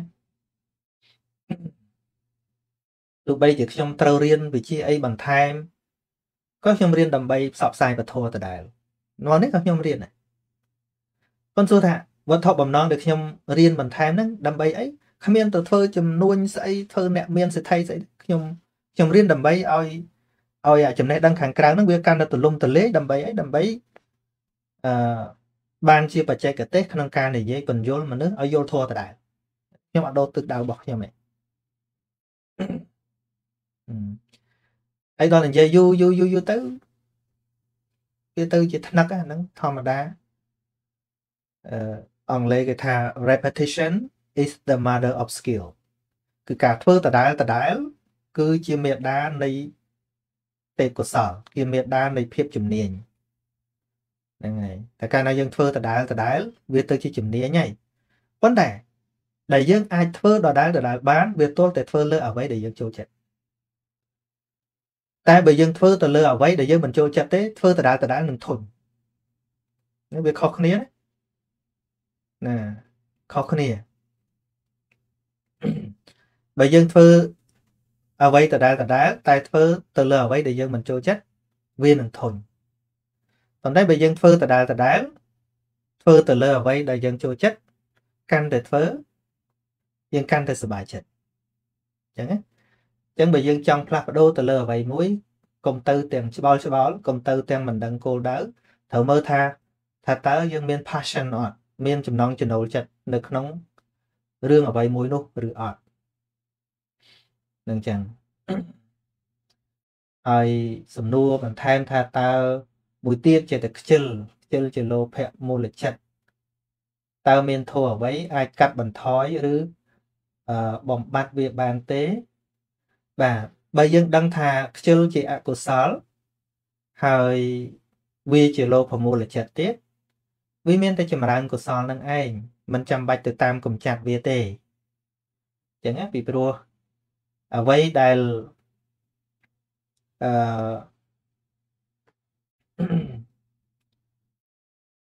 អាចទៅផ្លាស់ប្ដូរនៅទម្លាប់អាក្រក់របស់អកុសលធម៌បាន គឺការចម្រើនកុសលអត់អាចមានអីទៅលុបបំបត្តិអកុសលក្រៅពីការចម្រើនកុសលទេគឺចម្រើនការយល់ដឹងនឹងឯងហ្នឹងហើយមិនទៅទេទៅទេទៅ យើងទៅវាយបំបាក់ធៀបខ្ជិលដោយប្រការណាមួយអត់ទេអត់ទេហ្នឹងហើយពីព្រោះតួខ្ជិលហ្នឹងក៏ជាថៃនមិទ្ធៈដែលកើតនៅក្នុងលោភៈមូលចិត្តដែរបាទហើយម្យ៉ាងទៀតថាធ្វើចិត្តឲ្យជ្រះថ្លាចិត្តនេះមិនបាច់ធ្វើទេតែវាអត់ជ្រះថ្លាវាអត់ទេធ្វើមិនក៏វាមិនជ្រះថ្លាដែរអញ្ចឹងតែមិនជ្រះថ្លាធ្វើមិនក៏វាមិនជ្រះថ្លាដែរ ប៉ុន្តែវាអាចជ្រះថ្លាទៅបាន គឺទល់តែយល់នៅពាក្យពេចន៍របស់ព្រះសម្មាសម្ពុទ្ធស្ដាប់ទៅរៀនទៅយល់ច្បាស់ថាស្អីជាកុសល ស្អីជាអកុសល ច្បាស់លាស់ណាកាលណាច្បាស់លាស់អាចិត្តជ្រះថ្លាហ្នឹងកើតឡើងហើយប៉ុន្តែបើមិនយល់ទេជ្រះថ្លាមិនរួចទេដូចជាអានិសង្សនៃការស្ដាប់ធម៌អញ្ចឹង ទីមួយគឺអសនងអសតាំងសនាតិបានស្ដាប់នៅពាក្យដែលមិនធ្លាប់ស្ដាប់ពាក្យធម៌ដ៏ច្រើនយើងអត់ធ្លាប់ស្ដាប់ទេយើងធ្លាប់ស្ដាប់តែមនុស្សមានកិលេសនិយាយតែពាក្យរបស់ពុទ្ធយើងមិនសូវបានស្ដាប់ទេតែថាយើងស្ដាប់ធម៌រាល់ថ្ងៃក៏ដោយតែមានពាក្យច្រើនណាស់ដែលយើងមិនបានស្ដាប់ទូយ៉ាងឧទាហរណ៍ដូចជាយើងស្ដាប់ធម៌តាំងរោងប៉ុនណាយើងបានស្ដាប់តិចតួចបំផុតនៃធម៌ដែលគួរស្ដាប់ពីព្រោះឲ្យវាមាន limit វាមានកំណត់ណាឧទាហរណ៍ថាធ្វើបនកតញ្ញូ ទេតែមកជុំកវលកតញ្ញូចឹងទៅបើថាកថាទេតែមកកវលកថាទៅអឺទៅបនបច្ច័យ4ទេតែមកកវលបច្ច័យ4ទៅអឺដល់ចឹងទៅវាវាមានព្រំដែនមួយ ដែលខៀខាំងហាក់ដូចជាខាត់ធម្មកថាมันអាចយកធោដតីដ៏ច្រើនទៀតដែលជាការត្រាស់ដឹងរបស់ពពុទ្ធហើយត្រាស់សម្ដែងអស់45ប្រវសានឹងយកមកចែកម្លែកបាននៅក្នុងកម្មវិធីប៉ុនហ្នឹងឯងហ្នឹងហើយ វាលែងតែលោកអ្នកដែលបានសិក្សាច្រើនអីហ្នឹងអាហ្នឹងអាចយកទៅសម្ដែងអីបានប៉ុន្តែបើធម្មតាធម្មតាហ្នឹងដូចខ្ញុំធ្លាប់តាំងពីដើមមកដែលមិនទាន់បានសិក្សាអីឲ្យទូលំទូលាយហ្នឹងអឺតែកាលណាគេនិមន្តប៉ុនអីគឺត្រៀមតែប៉ុនហ្នឹងមែនហ្នឹងហើយពីព្រោះវាមានសិភៅបង្រៀនពីកម្មវិធីប៉ុនហ្នឹងប្រវត្តិប៉ុនហ្នឹងអីចឹងគឺថាទៅនិយាយតែប្រវត្តិប៉ុនហ្នឹងឯងហ្នឹងឬអីអីធัวដែលត្រូវគោរពប្រតិបត្តិក្នុងជីវិតនេះគឺត្រូវ ត្រូវត្រូវត្រូវនៅឆ្ងាយពីជីវិតយើងមែនតើហ្នឹងហើយហើយអានិសង្ឃឃើញទេកាលណាយើងធ្លាប់យើងយើងទៅបានស្ដាប់អាធម៌ដែលយើងមិនដែលបានស្ដាប់ហ្នឹងបានបញ្ជាក់ខ្លះណាដូចជាយុគមិញអញ្ចឹងក្រុមពធមួយក្រុមនៅភ្នំពេញហ្នឹងគាត់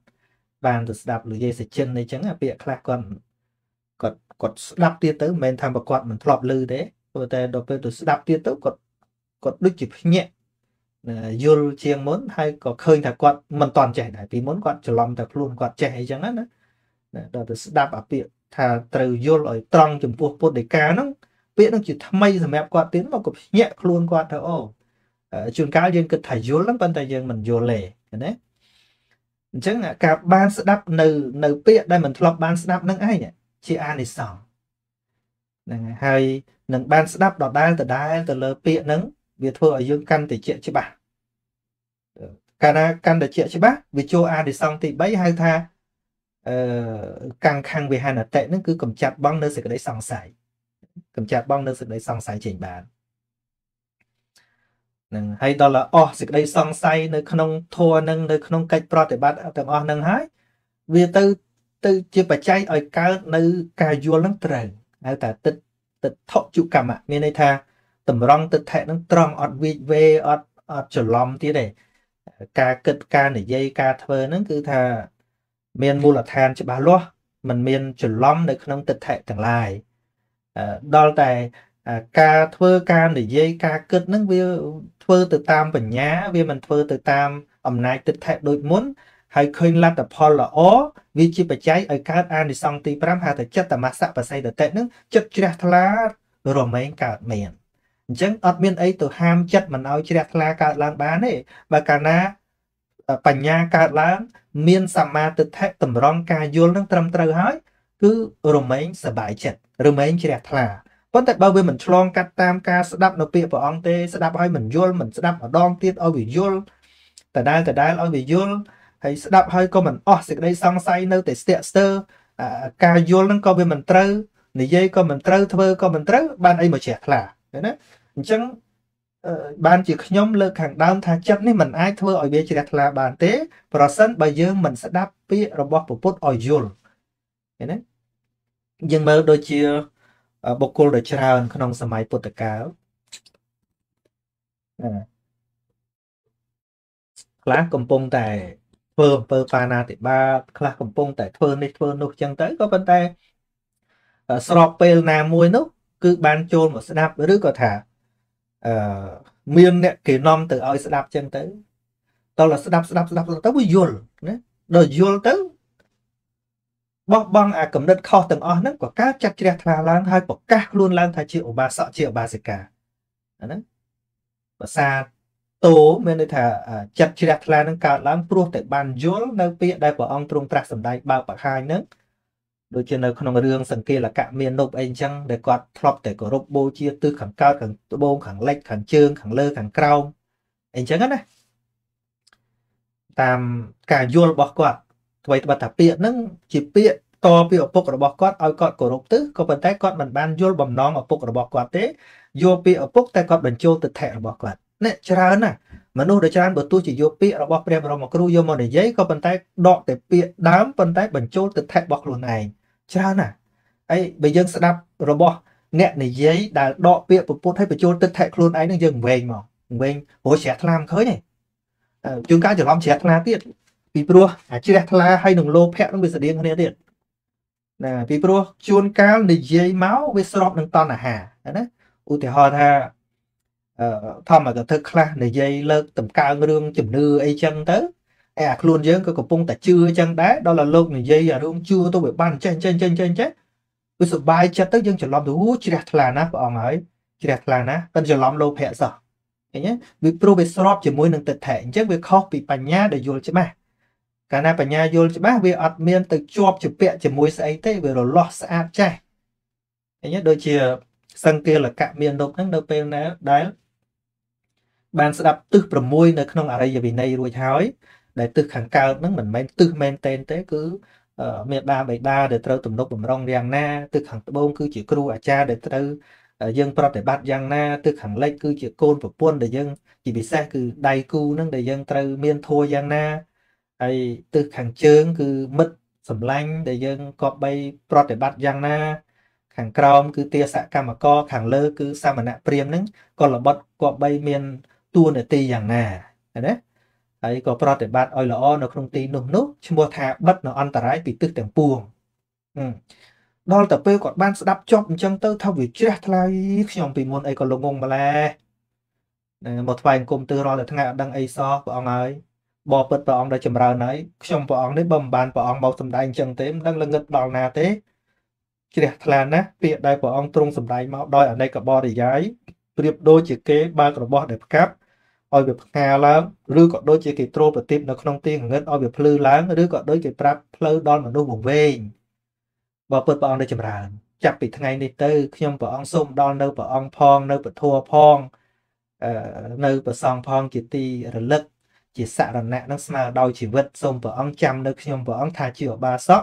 អ្នកដល់នៅបរតនត្រ័យជាទីរលឹកចាប់ពីពេលនេះតទៅឃើញទេអាម៉េចបានទៅជាជ្រះថ្លាហ្នឹងទល់តែយល់ នេះអាការស្ដាប់យល់ហ្នឹងគឺជាបច្ច័យនៃការជ្រះថ្លាហ្នឹងខ្ញុំរាប់សរុបមកវិញចុះតែជ្រះថ្លាទៅបានហ្នឹងកើតឡើងពីការស្ដាប់សិនឃើញទេទី1អសុតាំងសនាតិស្ដាប់ធម៌ដែលមិនធ្លាប់ស្ដាប់ទី2សព្តាំងបរិយោតពេតស្ដាប់រួយរួយញឹកញឹកធម៌ដែលស្ដាប់ហើយហ្នឹងនឹងបានយល់ច្បាស់ឡើងទី3កាំងខាំងវិហនតៈកាលណាយល់ច្បាស់ឡើងវាជាបច្ច័យឲ្យលះបង់នៅសេចក្តីសង្ស័យ ទី4ទឹកថឹងអជុំករតៈព្រោះតែអស់សង្ស័យទៅធ្វើត្រូវគិតត្រូវនិយាយត្រូវកាលណាធ្វើត្រូវនិយាយត្រូវធ្វើត្រូវដែលកើតពីការយល់ត្រូវហើយចិត្តតមសៈបសិយតិគឺចិត្តអ្នកស្ដាប់នឹងរមែងជ្រះមែនជ្រះថ្លាឃើញទេអញ្ចឹងជ្រះថ្លាហ្នឹងមិនមែនកើតដោយជ្រះថ្លាទេយើងមិនអាចទៅបខំមនុស្សណាជ្រះថ្លាឡើងណែថ្វាយអង្គមពពុទ្ធឡើង ជួនកាលយើងច្រឡំជ្រះថ្លាទៀតហើយទៅថ្វាយអង្គមពពុទ្ធហ្នឹងខ្ញុំលឺតែថាងថ្វាយអង្គមពពុទ្ធទៅឲ្យរស់ស៊ីមានបានអីចេះតែយើងក៏សប្បាយចិត្តទៅថ្វាយក៏លោបានមែនថាជ្រះថ្លាមែនទេអាហ្នឹងលោភៈតាហ្នឹងហើយអាហ្នឹងខ្ញុំគ្រាន់តែពយល់ខ្លះខ្លះអញ្ចឹងប៉ុន្តែវាពាក់ព័ន្ធនឹងការសិក្សារៀនសូត្រឲ្យបានច្បាស់លាស់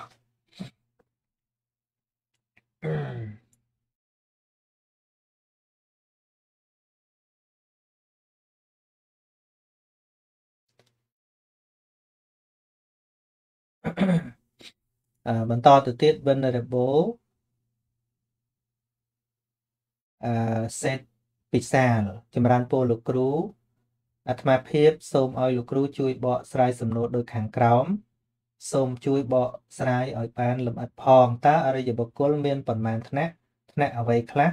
តើថ្នាក់នីមួយនីមួយលះធัวអ្វីខ្លះ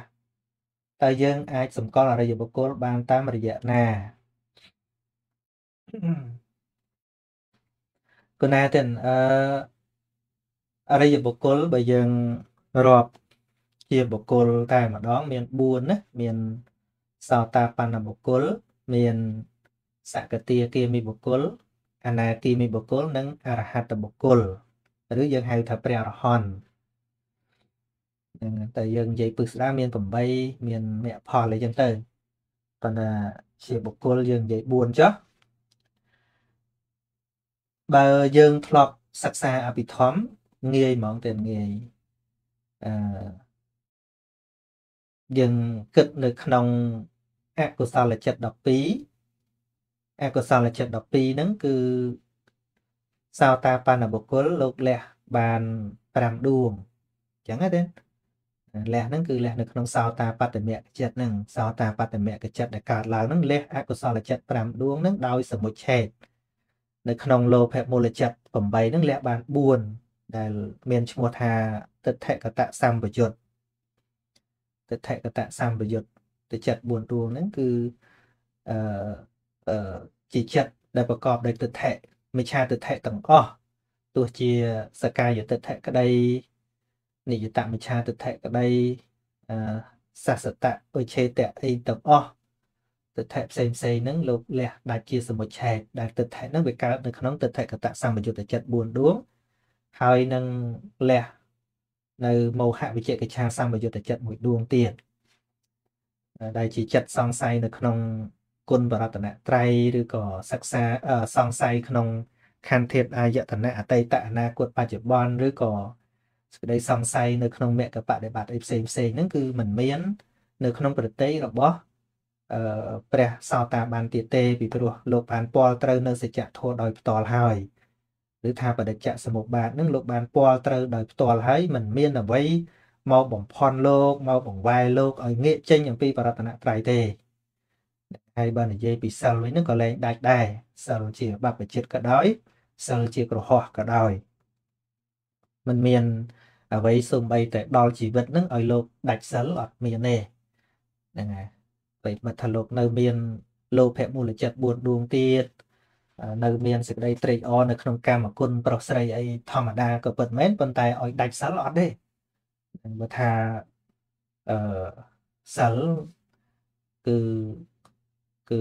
ជាជាសិលដែលលែងដាច់ទេគួរឲ្យជ្រះថ្លាខ្លាំងណាទោះបីជាហេតុការត្រូវបាត់បង់ទ្រព្យសម្បត្តិត្រូវខូចកិត្តិយសត្រូវដាច់អវយវៈត្រូវ អឺអស់ជីវិតទៅទៀតក៏ដោយក៏លោកមិនដាច់សិលដែរសំខាន់គឺនិច្ចសិលនឹងតែម្ដងហ្នឹងហើយហើយម្យ៉ាងទៀត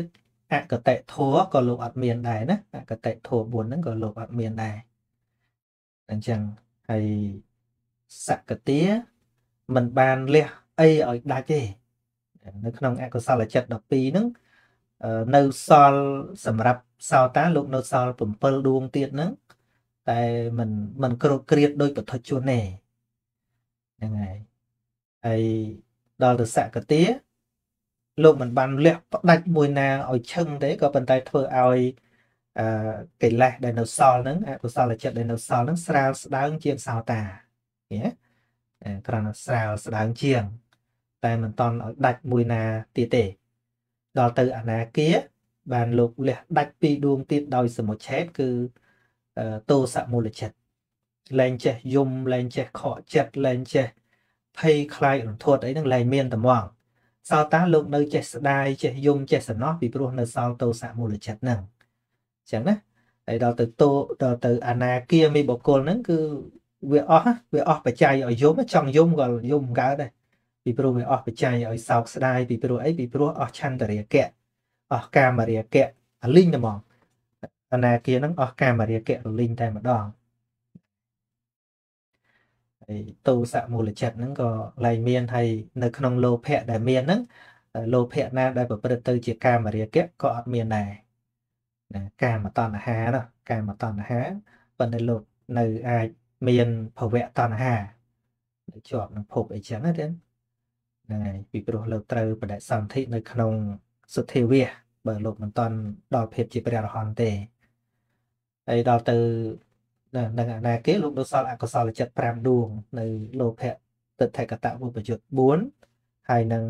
មោហៈឧត្តចៈសម្បយុទ្ធ1ប៉ុន្តែស្រាលស្ដងខ្លាំងណាស់វាសឹងតែមិនមានទេគ្រាន់តែនៅអញ្ចឹងទៅប៉ុន្តែវាវាសឹងតែអស់ទៅហើយណាហើយដល់ទៅព្រះអរហន្តទៅលោកលះ5ដួងនឹងដាច់ជាសមុច្ឆេទៀតអញ្ចឹងណា ហៅថាព្រះអរហន្តឬក៏ជាបខៃណាស្របនឹងគឺថាយើងហៅចំពោះតែបុគ្គលដែលអស់កិលេសរលីងតែម្ដងកណាហើយចុងក្រោយលោកម្ចាស់សួរថាតើអឺយើងអាចសម្គាល់អរិយបុគ្គលតាមវិធីណាយើងជាបុថុជននេះយើងលំបាកក្នុងការទៅដឹងកម្រិតនៃអរិយបុគ្គលណាស់ទាំងពីព្រោះ កាន់តែមានគុណធម៌ពោះកាន់តែលោកលែងប្រាប់ហើយអ្នកប្រាប់អ្នកបង្ហាញហ្នឹងគឺអ្នកអត់បានហ្នឹងឯងហ្នឹងហើយពីព្រោះការមិនប្រាប់វាមានហេតុពីរណាមានទី1បើមានគុណធម៌ពិតហើយនិយាយប្រាប់គេទៅគេមិនជឿវាបាបដល់អ្នកមិនជឿហ្នឹងណាបានលោកអត់ប្រាប់ហ្នឹងមួយហើយមួយទៀត អឺកាលណាប្រាប់ពីគុណធម៌ដែលលោកបានទៅ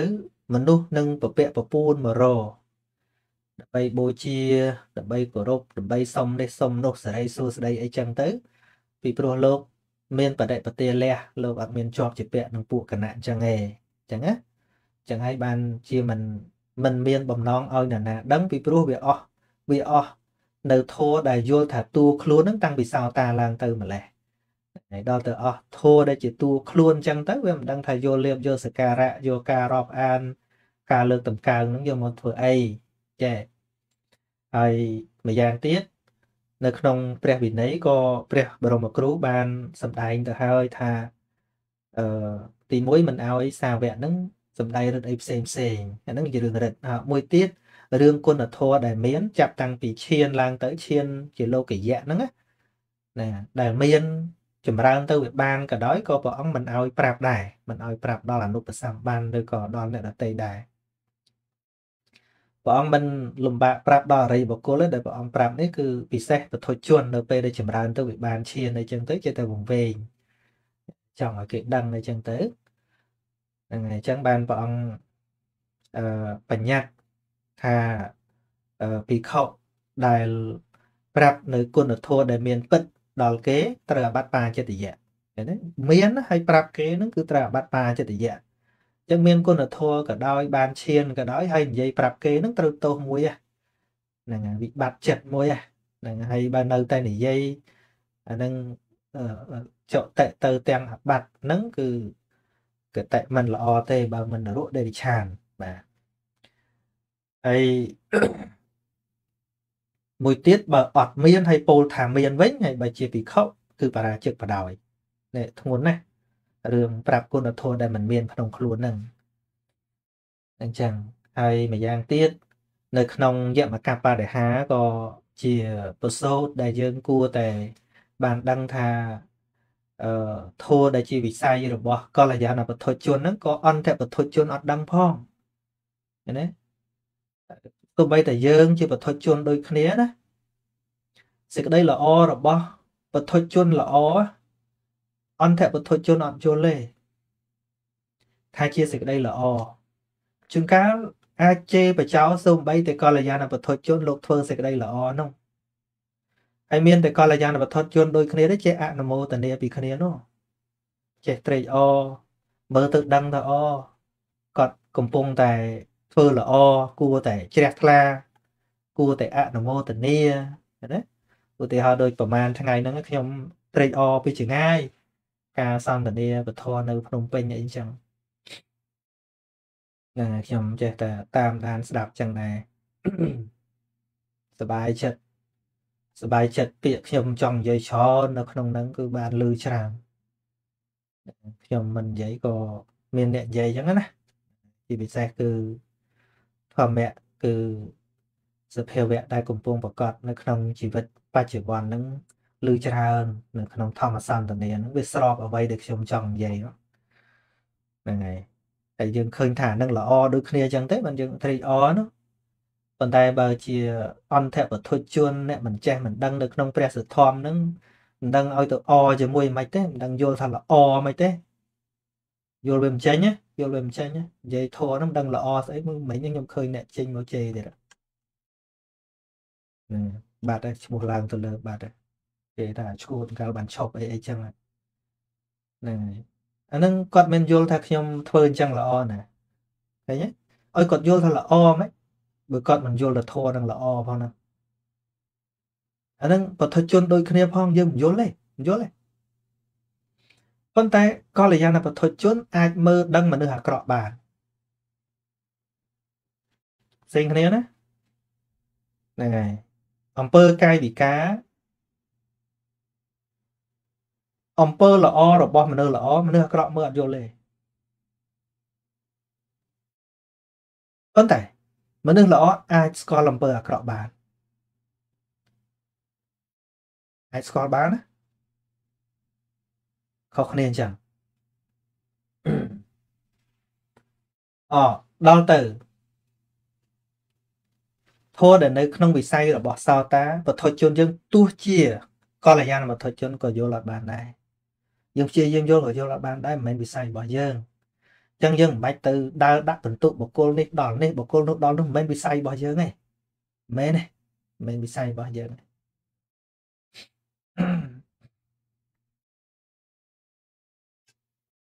ហ្នឹងហើយមិនមែនវិស័យរបស់យើងទេ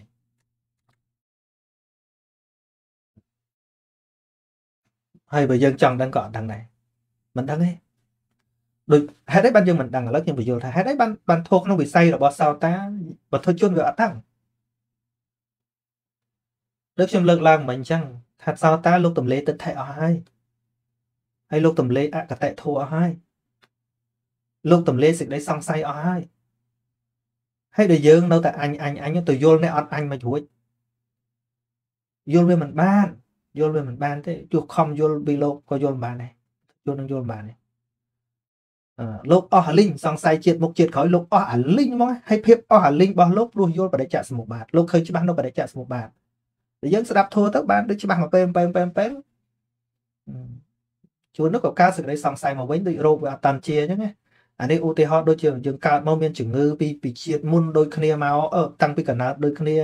ជំងឺហឺតតាំងពីកំណើតដូចគ្នាអញ្ចឹងម្នាក់គឺជាដាច់ភឹងហើយយើងនៅតែហឺតងើតងើតដដែលអញ្ចឹងហើយយើងវាមិនដែលស្គាល់ជាតិជាហើយយើងចង់ទៅឲ្យស្គាល់ជាតិជាដូចអ្នកជាស្គាល់វាអត់កើតប៉ុន្តែអ្នកជាហើយដឹងអ្នកឈឺយ៉ាងម៉េចដឹងហ៎ព្រោះធ្លាប់ឈឺអញ្ចឹងបាទខ្ញុំលើកឡើងថាមនុស្សអាក្រក់មិនយល់ពីមនុស្សល្អទេតែមនុស្សល្អយល់ពីមនុស្សអាក្រក់អញ្ចឹងយល់ច្បាស់ហ្មងយល់ដោយអីយល់ដោយកាយកម្មយល់ដោយវិច័យកម្មយល់ដោយមโนកម្មហ្នឹងហើយមានតែមនុស្សល្អទេ ដែលមើលថាអំពើដែលមនុស្សអាក្រក់ធ្វើនឹងជាអាក្រក់មែនតែមនុស្សអាក្រក់មិនអាចមើលមនុស្សល្អធ្វើអំពើល្អថាជាល្អកើតទេដូចគ្នាដូចគ្នាអញ្ចឹង ពីព្រោះអីមនុស្សមុននឹងល្អវាធ្លាប់អាក្រក់ដែរធាតអាក្រក់នឹងវាធ្លាប់មានដែរអញ្ចឹងទោះអាក្រក់មានអីពិបាកយល់បើធ្លាប់មានដែរអកុសលធម៌មានឃើញទេទូអកុសលចិត្តនឹងមានវាធ្លាប់ឆ្លងកាត់មកអញ្ចឹងហ្នឹងហើយហើយដល់យើងជាបុថុជនយើងទៅយល់កម្រិតរបស់សោតាយល់មិនបានត្រង់ថាកម្រិតរបស់លោកហ្នឹងគឺគឺកម្រិតជាកិលេសហ្នឹងហើយជាកិលេស ទៅវាស្រួលវាសំណុកវាមិនតានតឹងផ្លូវចិត្តបែបណាវាតទៅលោកផ្ទាល់ហ្នឹងមិនលោកដឹងហើយហើយអរិយបុគ្គលថ្នាក់លើលើហ្នឹងអាចមើលមកក្រោមដឹងហ្នឹងហើយសកតាលោកមើលសោតាដឹងអញ្ចឹងណាលោកមើលដឹងពីព្រោះអីពីព្រោះលោកក៏ធ្លាប់ជាកម្រិតសោតាដែរមុននឹងឡើងទៅសកតានឹងលោកជាសោតាដែរហ្នឹងហើយ ហើយសកតាដូចគ្នាក៏លោកដឹងគ្នាដែរអប៉ុន្តែសកតានឹងមិនអាចទៅដឹងកម្រិតអនាគាបានទេហើយសោតានេះក៏មិនអាចទៅដឹងកម្រិតសកតាបានដែរដូចជាកម្រិតសោតានៅចេះស្ដាយចេះយំនៅពេលដែលបាត់របស់ជាទីស្រឡាញ់ដល់ពេលអនាគាលោកអត់មានអធិធស្ដាយហ្នឹងវាអត់មានហ្មងអធិធស្ដាយធត់ទូម្ដងគ្មានហ្មងអញ្ចឹងមនុស្សដែលនៅមានធាតស្ដាយក៏ទៅយល់កម្រិតរបស់អ្នកអត់ស្ដាយនឹងបានដែរយល់អត់យល់អត់បាន ឃើញទេអានឹងគ្រាន់តែចំណុចខ្លះខ្លះខ្ញុំលើកជាឧទាហរណ៍ចឹងឯងប៉ុន្តែវាមានធម៌មានជំរឿជាងនឹងឆ្ងាយហើយដល់ទៅអនាគាហ្នឹងมันអាចទៅយល់កម្រិតព្រះរហន្តបានទេហ្នឹងហើយមិនអាចទេមិនអាចទេតែព្រះរហន្តដឹងទាំងអស់ដឹងអន្តបទុជនក៏លោកដឹងកល្យាណបទុជនក៏លោកដឹងសោតាក៏លោកដឹងសកតាក៏ដឹងអនាគាក៏ដឹងអរហន្តដូចគ្នាក៏ដឹងសាមញ្ញធម្មតា តែនៅតែលោកមិនដឹងកម្រិតអ្នកដែលលើលោកបានទៀតធួដែលក្នុងក្នុងវិស័យរបស់ប្រមោកលៀនព្រះរហន្តទូទៅដឹងអត់បានបុណ្យវាខុសគ្នាបុណ្យខុសគ្នាហ្នឹងហើយប្រហែលមកកលៀនហ្នឹងទៅដឹងវិស័យរបស់សរិបុត្រអត់បានទៀតដែលជាសាវកស្ដាំដឹងអត់បានទេព្រះសរិបុត្រខ្លាំងជាងហើយដល់សរិបុត្រហ្នឹងដឹងវិស័យរបស់ពុទ្ធអត់បានទៀតឃើញទេ ហើយដល់ព្រះសម្មាសម្ពុទ្ធដឹងទាំងអស់សាវកដល់កម្រិតណាគាត់ដឹងដែរដែលប្រៀបធៀបដូចថាបើបើបើប្រៀបនឹងអាកាសវិញបញ្ញាព្រះអង្គដូចជាផ្ទៃអាកាស space ទាំងអស់ហ្នឹងរីឯបញ្ញាកម្រិតរបស់សាវកដូចសត្វដែលហើរក្នុងអាកាសហ្នឹងហើរទៅណាក៏នៅតែក្នុងអាកាសហ្នឹងបើប្រៀបនឹងទឹកសមុទ្រវិញបញ្ញាព្រះអង្គដូចទឹកមហាសមុទ្រចឹងហើយរីឯបញ្ញារបស់ព្រះសាវកទាំងឡាយដូច សេរីបុត្រឲ្យចុះមកហ្នឹងគឺដូចជាត្រីធំនៅក្នុងសមុទ្រទោះនៅតាណាក៏នៅក្នុងអំណាចសមុទ្រដែរចឹងណាចឹងយើងកុំចង់ដឹងកម្រិតរបស់លោកអីគឺយើងរៀនយល់ពីខ្លួនយើងវិញហើយបើយើងរៀនអំពីអរិយបុគ្គលយើងត្រូវរៀនអំពីថាធម៌អីដែលលោកលះណាហើយយើងស្គាល់លក្ខណៈកិច្ចផលបតតឋានរបស់កិលេសហ្នឹងអញ្ចឹងក៏វាអាចធ្វើឲ្យយើងឃើញអ្នកកុហកច្រើនជាង នរណាចង់មកអួតថាគេនឹងថ្នាក់នេះនរណាចង់មកអួតថ្នាក់នោះអាហ្នឹងយើងមើលឆាប់ស្គាល់ជាងតែយើងមើលគុណធម៌អត់ងាយយល់ទេហេតុអីព្រោះគុណធម៌វាខ្ពស់ជាងយើងឆ្ងាយក៏ប៉ុន្តែយើងមើលអ្នកកុហកយើងឆាប់យល់ដោយសារអីយើងសិក្សាពីកិលេសហ្នឹងដែលកិលេសហ្នឹងនៅក្នុងខ្លួនយើងដែរជារបស់ដែលយើងឆាប់ពិសោធន៍មើលបានខ្ញុំមើលព្រះរហន្តអត់យល់ទេតែខ្ញុំមើលមនុស្សកុហកថាព្រះរហន្តយល់ខ្ញុំមើលព្រះសោតាមែនទែនខ្ញុំមើលអត់ស្គាល់ទេតែខ្ញុំមើលមនុស្សដែលកុហក ឬក៏ច្រឡំថាខ្លួនឯងជាសោតាខ្ញុំមើលយល់អញ្ចឹងណា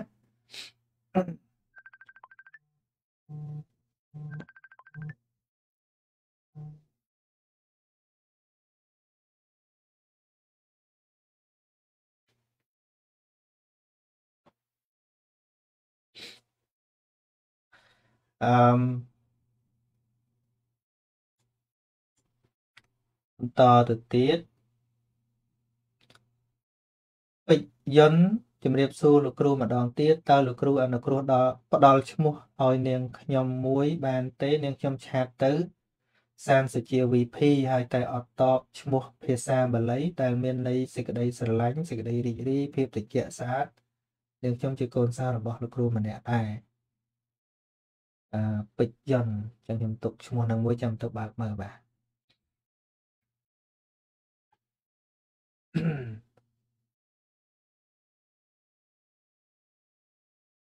ហ៊ុនចាន់លេងអូលីម៉ែធូសូមជម្រាបសួរលោកគ្រូជាទីគោរពនៅក្នុងបត្រៃបិដកត្រង់ចំណុចដែលព្រះបរមសាស្តាបានឆ្លើយតបទៅកាន់វេរញ្ជាព្រាមថាតថាគតបានលះស្រឡះហើយបានផ្ដាច់ផ្ដាល់ឬគួរអស់ហើយបានធ្វើវត្ថុសម្រាប់កើតទៀតឲ្យអស់រលែងដូចដើមថ្នោតដែលគេក្របបែលគាស់រំលើងឲ្យលែងដោះតទៅទៀតហើយ សូមអនុញ្ញាតជម្រាបសួរលោកគ្រូថាតើការដែលព្រះអង្គបានប្រៀបធៀបទៅនឹងដើមថ្នោតនោះតើដើមថ្នោតអាចមានដុះជារុក្ខជាតិតាំងពីក្នុងសម័យកាលដែលព្រះអង្គគង់នៅឬយ៉ាងណា បាទមានមានមានយូរហើយដើមថ្នោតហ្នឹងមានយូរហើយដូចកន្លែងព្រះអង្គទៅប្រោសប្របាទពឹមពិសាបន្ទាប់ពីចេញភាសាទី1ហ្នឹងហើយមុនពុទ្ធសករាជ44ឆ្នាំណា អឺបន្ទាប់ពីព្រះអង្គគង់នៅសិបតនមគតិយវ័នមកព្រះអង្គចាត់សាវកឲ្យទៅសម្ដែងកន្លែងផ្សេងផ្សេងហើយព្រះអង្គក៏ទៅគយាសីស័ករួចទៅបានព្រះអង្គមកពីហ្នឹងព្រះអង្គទៅរាជក្រឹសទៅទៅក្រុងរាជក្រឹសហ្នឹងប៉ុន្តែមិនដល់នគរទេគឺជួបប្របាទពឹមពិសាហ្នឹងនៅព្រៃថ្នោតក្រមុំថ្នោតហ្នឹងថ្នោតវាមិនតាន់ផ្កាមិនតាន់ផ្លែណាវាដុះច្រើនគេដាំជួជួច្រើនអញ្ចឹងទៅហើយអឺ ព្រះរាជាហ្នឹងដែលជាមិត្តសម្លាញ់ព្រះអង្គពីមុនប្របាទពឹមពិសាហ្នឹងកាលដែលព្រះអង្គចេញទៅបួសធ្លាប់បានជួបហើយអឺធ្លាប់អឺចង់ចែករំលែកនៅរាជសម្បត្តិដល់ព្រះអង្គទៅទៀតក្រែងថាព្រះអង្គហ្នឹងត្រូវគេដេញចេញពីវាំងអីចឹងណាប៉ុន្តែព្រះអង្គថាអត់ទេមិនអញ្ចឹងទេអឺយើងចេញមកបួសដោយខ្លួនឯងហ្នឹងហើយ ហើយក៏សូមផ្ដាំដែរថាបើព្រះអង្គបានត្រាស់គំភ្លេចមកប្រោសខ្ញុំព្រះអង្គមុនគេផងហ្នឹងហើយអញ្ចឹងក្រោយពីបានសាវកប្រមាណនឹងមកក៏ព្រះអង្គនឹកឃើញពាក្យហ្នឹងថាកាលដែលព្រះអង្គមិនតាន់បានត្រាស់ធ្លាប់ជួបសម្លាញ់ហ្នឹងចឹងបានព្រះអង្គទៅដើម្បីប្រោសប្របាទពើពិសាហ្នឹងមិនប្រោសនៅក្នុងវាំងទេប្រោសនៅក្នុងព្រៃថ្នោតកមុំហ្នឹងហើយអញ្ចឹងរឿងនេះបញ្ជាក់ច្បាស់ថា អឺដើមថ្នោតហ្នឹងគឺថាមានយូរហើយបាទសម្រាប់ខ្ញុំបានជាបានជាប់ចិត្តចំពោះដើមថ្នោតនេះយូរមកហើយដោយសារតែវារុក្ខជាតិមួយប្រភេទដែលមានប្រយោជន៍យ៉ាងច្រើនសន្ធឹកសន្ធាប់ដល់ពលរដ្ឋយើងសូមលោកគ្រូមេត្តាបកស្រាយដោយអនុគ្រោះផងទៅចោះសូមចូលរួមអបអរសាទរសម្រាប់ពេលវេលាដែលលោកគ្រូចិត្តខ្លាយជាឪពុក ណារបស់បុត្រាឈ្មោះសានសុជាតិខុសតោះយ៉ាងណាសូមលោកគ្រូមេត្តាយកយល់ផងចោះខ្ញុំខ្លាំងណាស់គុណបាទអត់មានអីខុសតោះទេបាទ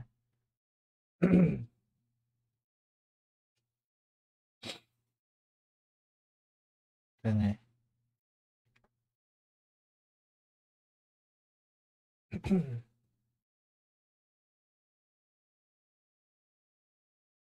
អឺមុតសីហាជំរាបសួរលោកគ្រូខ្ញុំមានចម្ងល់មួយ មិត្តភ័ក្ដិខ្ញុំគេមានដៃគូច្រើន ហើយបានគេងជាមួយគេទៀតខ្ញុំប្រាប់គេថាយើងដើរជាមួយគេអញ្ចឹងមិនខ្លាចបាបទេអីគេឆ្លើយមកវិញថាបាបកើតចេញពីចិត្តមិនល្អរបស់យើង តែការគេងជាមួយគេ គឺជាការព្រមព្រៀងគ្នាទៅវិញចង់សុខស្រួលដូចគ្នាដូច្នេះមិនបាបឡើយតែការដែលមានសង្សារច្រើន ហើយបានទៅគេងជាមួយគេទៀតនោះតើវាបាបដែរឬទេលោកគ្រូតាម គេបកស្រាយខាងលើបាទអឺពាក្យថាសមហេតុផល ហើយនឹងហេតុផលវាខុសគ្នាគាត់និយាយមកវាសមហេតុផលរបស់គាត់គឺត្រង់ដែលថាអត់មានចាប់បង្ខំអីអីចឹងណាហ្នឹងហើយប៉ុន្តែអឺនៅក្នុងកុសលវាអត់ចម្រើនទេវាចម្រើនតែអកុសល ហ្នឹងហើយហើយវាប្រព្រឹត្តទៅជាការកពូនកិលេសដ៏ច្រើនចឹងហើយបានជានៅក្នុងក្រហោះហ្នឹងក៏បីមានសិលហ្នឹងហើយមានសិលដែលថាយើង មានដៃគូហ្នឹងគឺថាมันផ្ដេសផ្ដាស់ច្រើនបើយើងគិតត្រឹមតែបើយើងព្រមហ្នឹងវា ញ៉ៃញ៉ៃពេញហ្នឹងចឹងបាបឬមិនបាបអាហ្នឹងខ្ញុំមិនចង់ឆ្លើយថាវាបាបឬអត់ទេហ្នឹងហើយតែយើងត្រូវសិក្សាឲ្យឃើញថាស្អីជាតួបាបហ្នឹងជាអកុសលហើយការដែលដោះស្រាយយករួចខ្លួនហ្នឹងយើងច្រើនតែយកតាមអំណះអំណាងណាដើម្បីឲ្យយើងបានធូរចិត្តហើយប្រព្រឹត្តតទៅទៀតអញ្ចឹងឯងហ្នឹងហើយ ដោយក្មួយរបស់អនាថបណ្ឌិកសេដ្ឋីមួយហ្នឹងគាត់មានកំណត់នឹងដែរគាត់រូបស្អាតសង្ហាអញ្ចឹងទៅហើយស្រីស្រីណាតែគាត់ចង់បានហើយហ្នឹងគឺថាគាត់តែងតែតាកតួងទល់បានហើយគាត់មានកំណត់មួយតែគាត់អត់មានចាប់បខំគេទេហ្នឹងហើយហើយរាប់ភ្លេចអញ្ចឹងទៅណាទោះជាហ្នឹងហើយទោះជា ស្ត្រីនឹងជាកំណានរបស់គេក៏ដោយក៏គាត់មានវិធីសាស្ត្រលួងលោមទល់តែបានអញ្ចឹងណាអាហ្នឹងក៏មកពីការដែលគាត់សន្សំបុណ្យពីមុនមកធ្លាប់ធ្វើដងទួងហើយប្រាថ្នាថា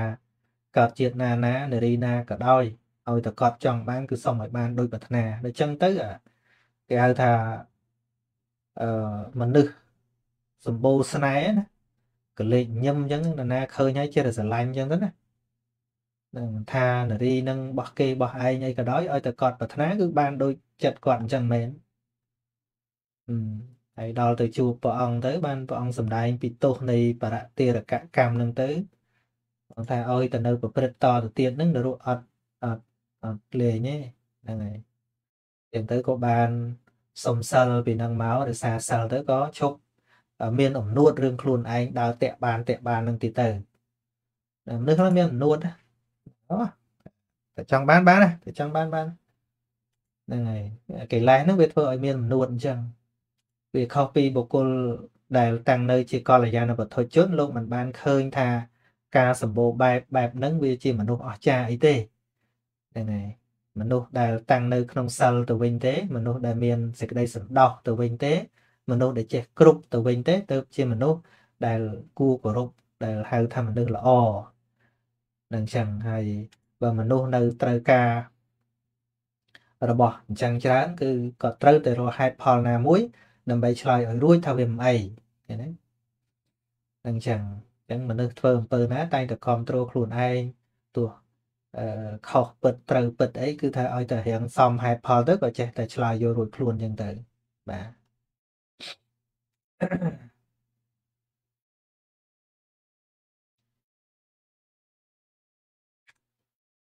Bora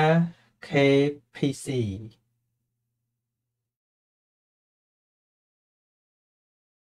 ជំរាបសួរលោកគ្រូពីចម្ងាយដោយសេចក្តីគោរពខ្ញុំមានសំណួរ2ចង់សួរលោកគ្រូមួយបើបរោះបានឃើញនារីស្លៀកពាក់ខោចលើខោចក្រោមហើយបរោះនោះកើតនៅរាគៈតើនារីនោះជាអត្ថារម្មណ៍ឬអនិច្ចារម្មណ៍ វាវាអត់សំខាន់ថាកើតរាគៈឬអត់ទេ សំខាន់ថារាងរៅរបស់គេវាស្អាតអត់ឧទាហរណ៍ថាដើមជើងដើមដៃរបស់គេហ្នឹងវាវាសាច់រលោងស្អាតឬអត់បើរលោងស្អាតវាចាត់ជាអត្ថារម្មណ៍ហើយបើទោះជាកើតរាគៈក៏ដោយឬមិនកើតរាគៈក៏ដោយឧទាហរណ៍ថានាងហ្នឹងរូបស្អាតនឹងសាច់ហ្នឹងរលោងស្រិលស្អាតទៅបញ្ចេញដាក់ព្រះរហន្ត ហ្នឹងហើយអញ្ចឹងអារម្មណ៍ដែលមកកាន់កន្លងចក្ខុរបស់ព្រះរហន្តហ្នឹងក៏នៅតែជាអត្ថារម្មណ៍ដែរពីព្រោះថារូបនោះរូបស្អាតរូបដែលមនុស្សទូទៅប្រាថ្នាបរោះទូទៅប្រាថ្នាអញ្ចឹងណាហ្នឹងឬឯកើតរាគៈឬក៏មិនកើតរាគៈនោះវាជារឿងមួយផ្សេងអញ្ចឹងណាអញ្ចឹងពាក្យថាឥតអារម្មណ៍ហ្នឹងវាមិនចាំបាច់តលតែកើតរាគៈទេបើសិនជាយើង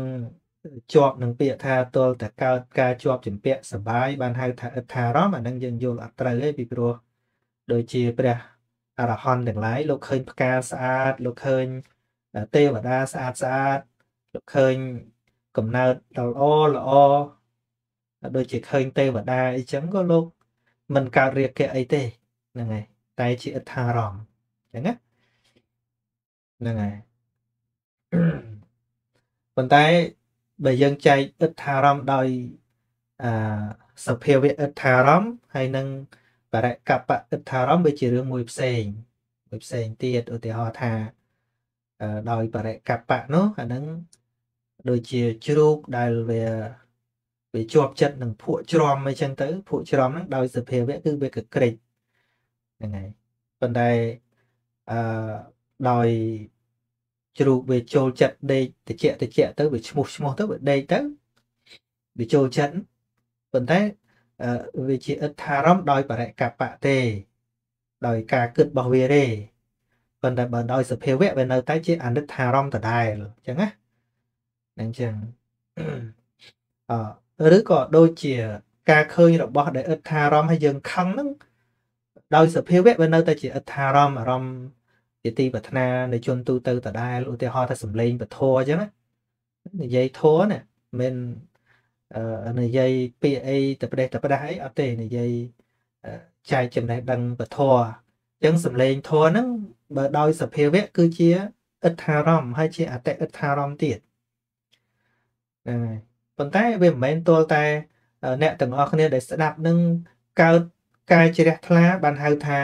អិដ្ឋារម្មណ៍ឯងហ្នឹងហើយទោះបីចូលមកស្អប់ខឹងហើយជេរដូចម្នាក់មិញហ្នឹង អាសំឡេងដែលគាត់លឺនេះក៏នៅតែជាអិដ្ឋារម្មណ៍ដដែលប៉ុន្តែបើដោយបរិកបៈរបស់គាត់ដោយការគិតរបស់គាត់ហ្នឹងសំឡេងដែលខ្ញុំនិយាយទៅហ្នឹងគឺជាអនិច្ចារម្មណ៍របស់គាត់ដោយដោយបរិកបៈមានន័យថាដោយការគិតរបស់គាត់ទេប៉ុន្តែធៀបពិត2ម៉ោងដែលនិយាយនេះគ្មានពាក្យណាគួរឲ្យយើងខឹងឯមែនតើទៅហ្នឹងហើយនិយាយឆ្លើយទៅសំណួរធម្មតាធម្មតាអញ្ចឹងហ្នឹងទេណាណា តែតែដោយបរិកបៈពេលថាដោយបរិកបៈមានន័យថាដោយការគិតផ្ទាល់ផ្ទាល់ខ្លួន សម្គាល់ដោយសម្គាល់តែបើដោយសភាវៈរបស់ល្អនៅតែល្អរបស់អាក្រក់នៅតែអាក្រក់អញ្ចឹងបាទ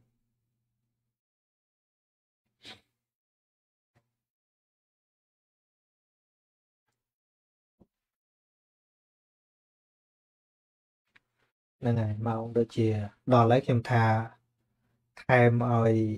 កន្លះម៉ោងឥឡូវវាកន្លះម៉ោងមែន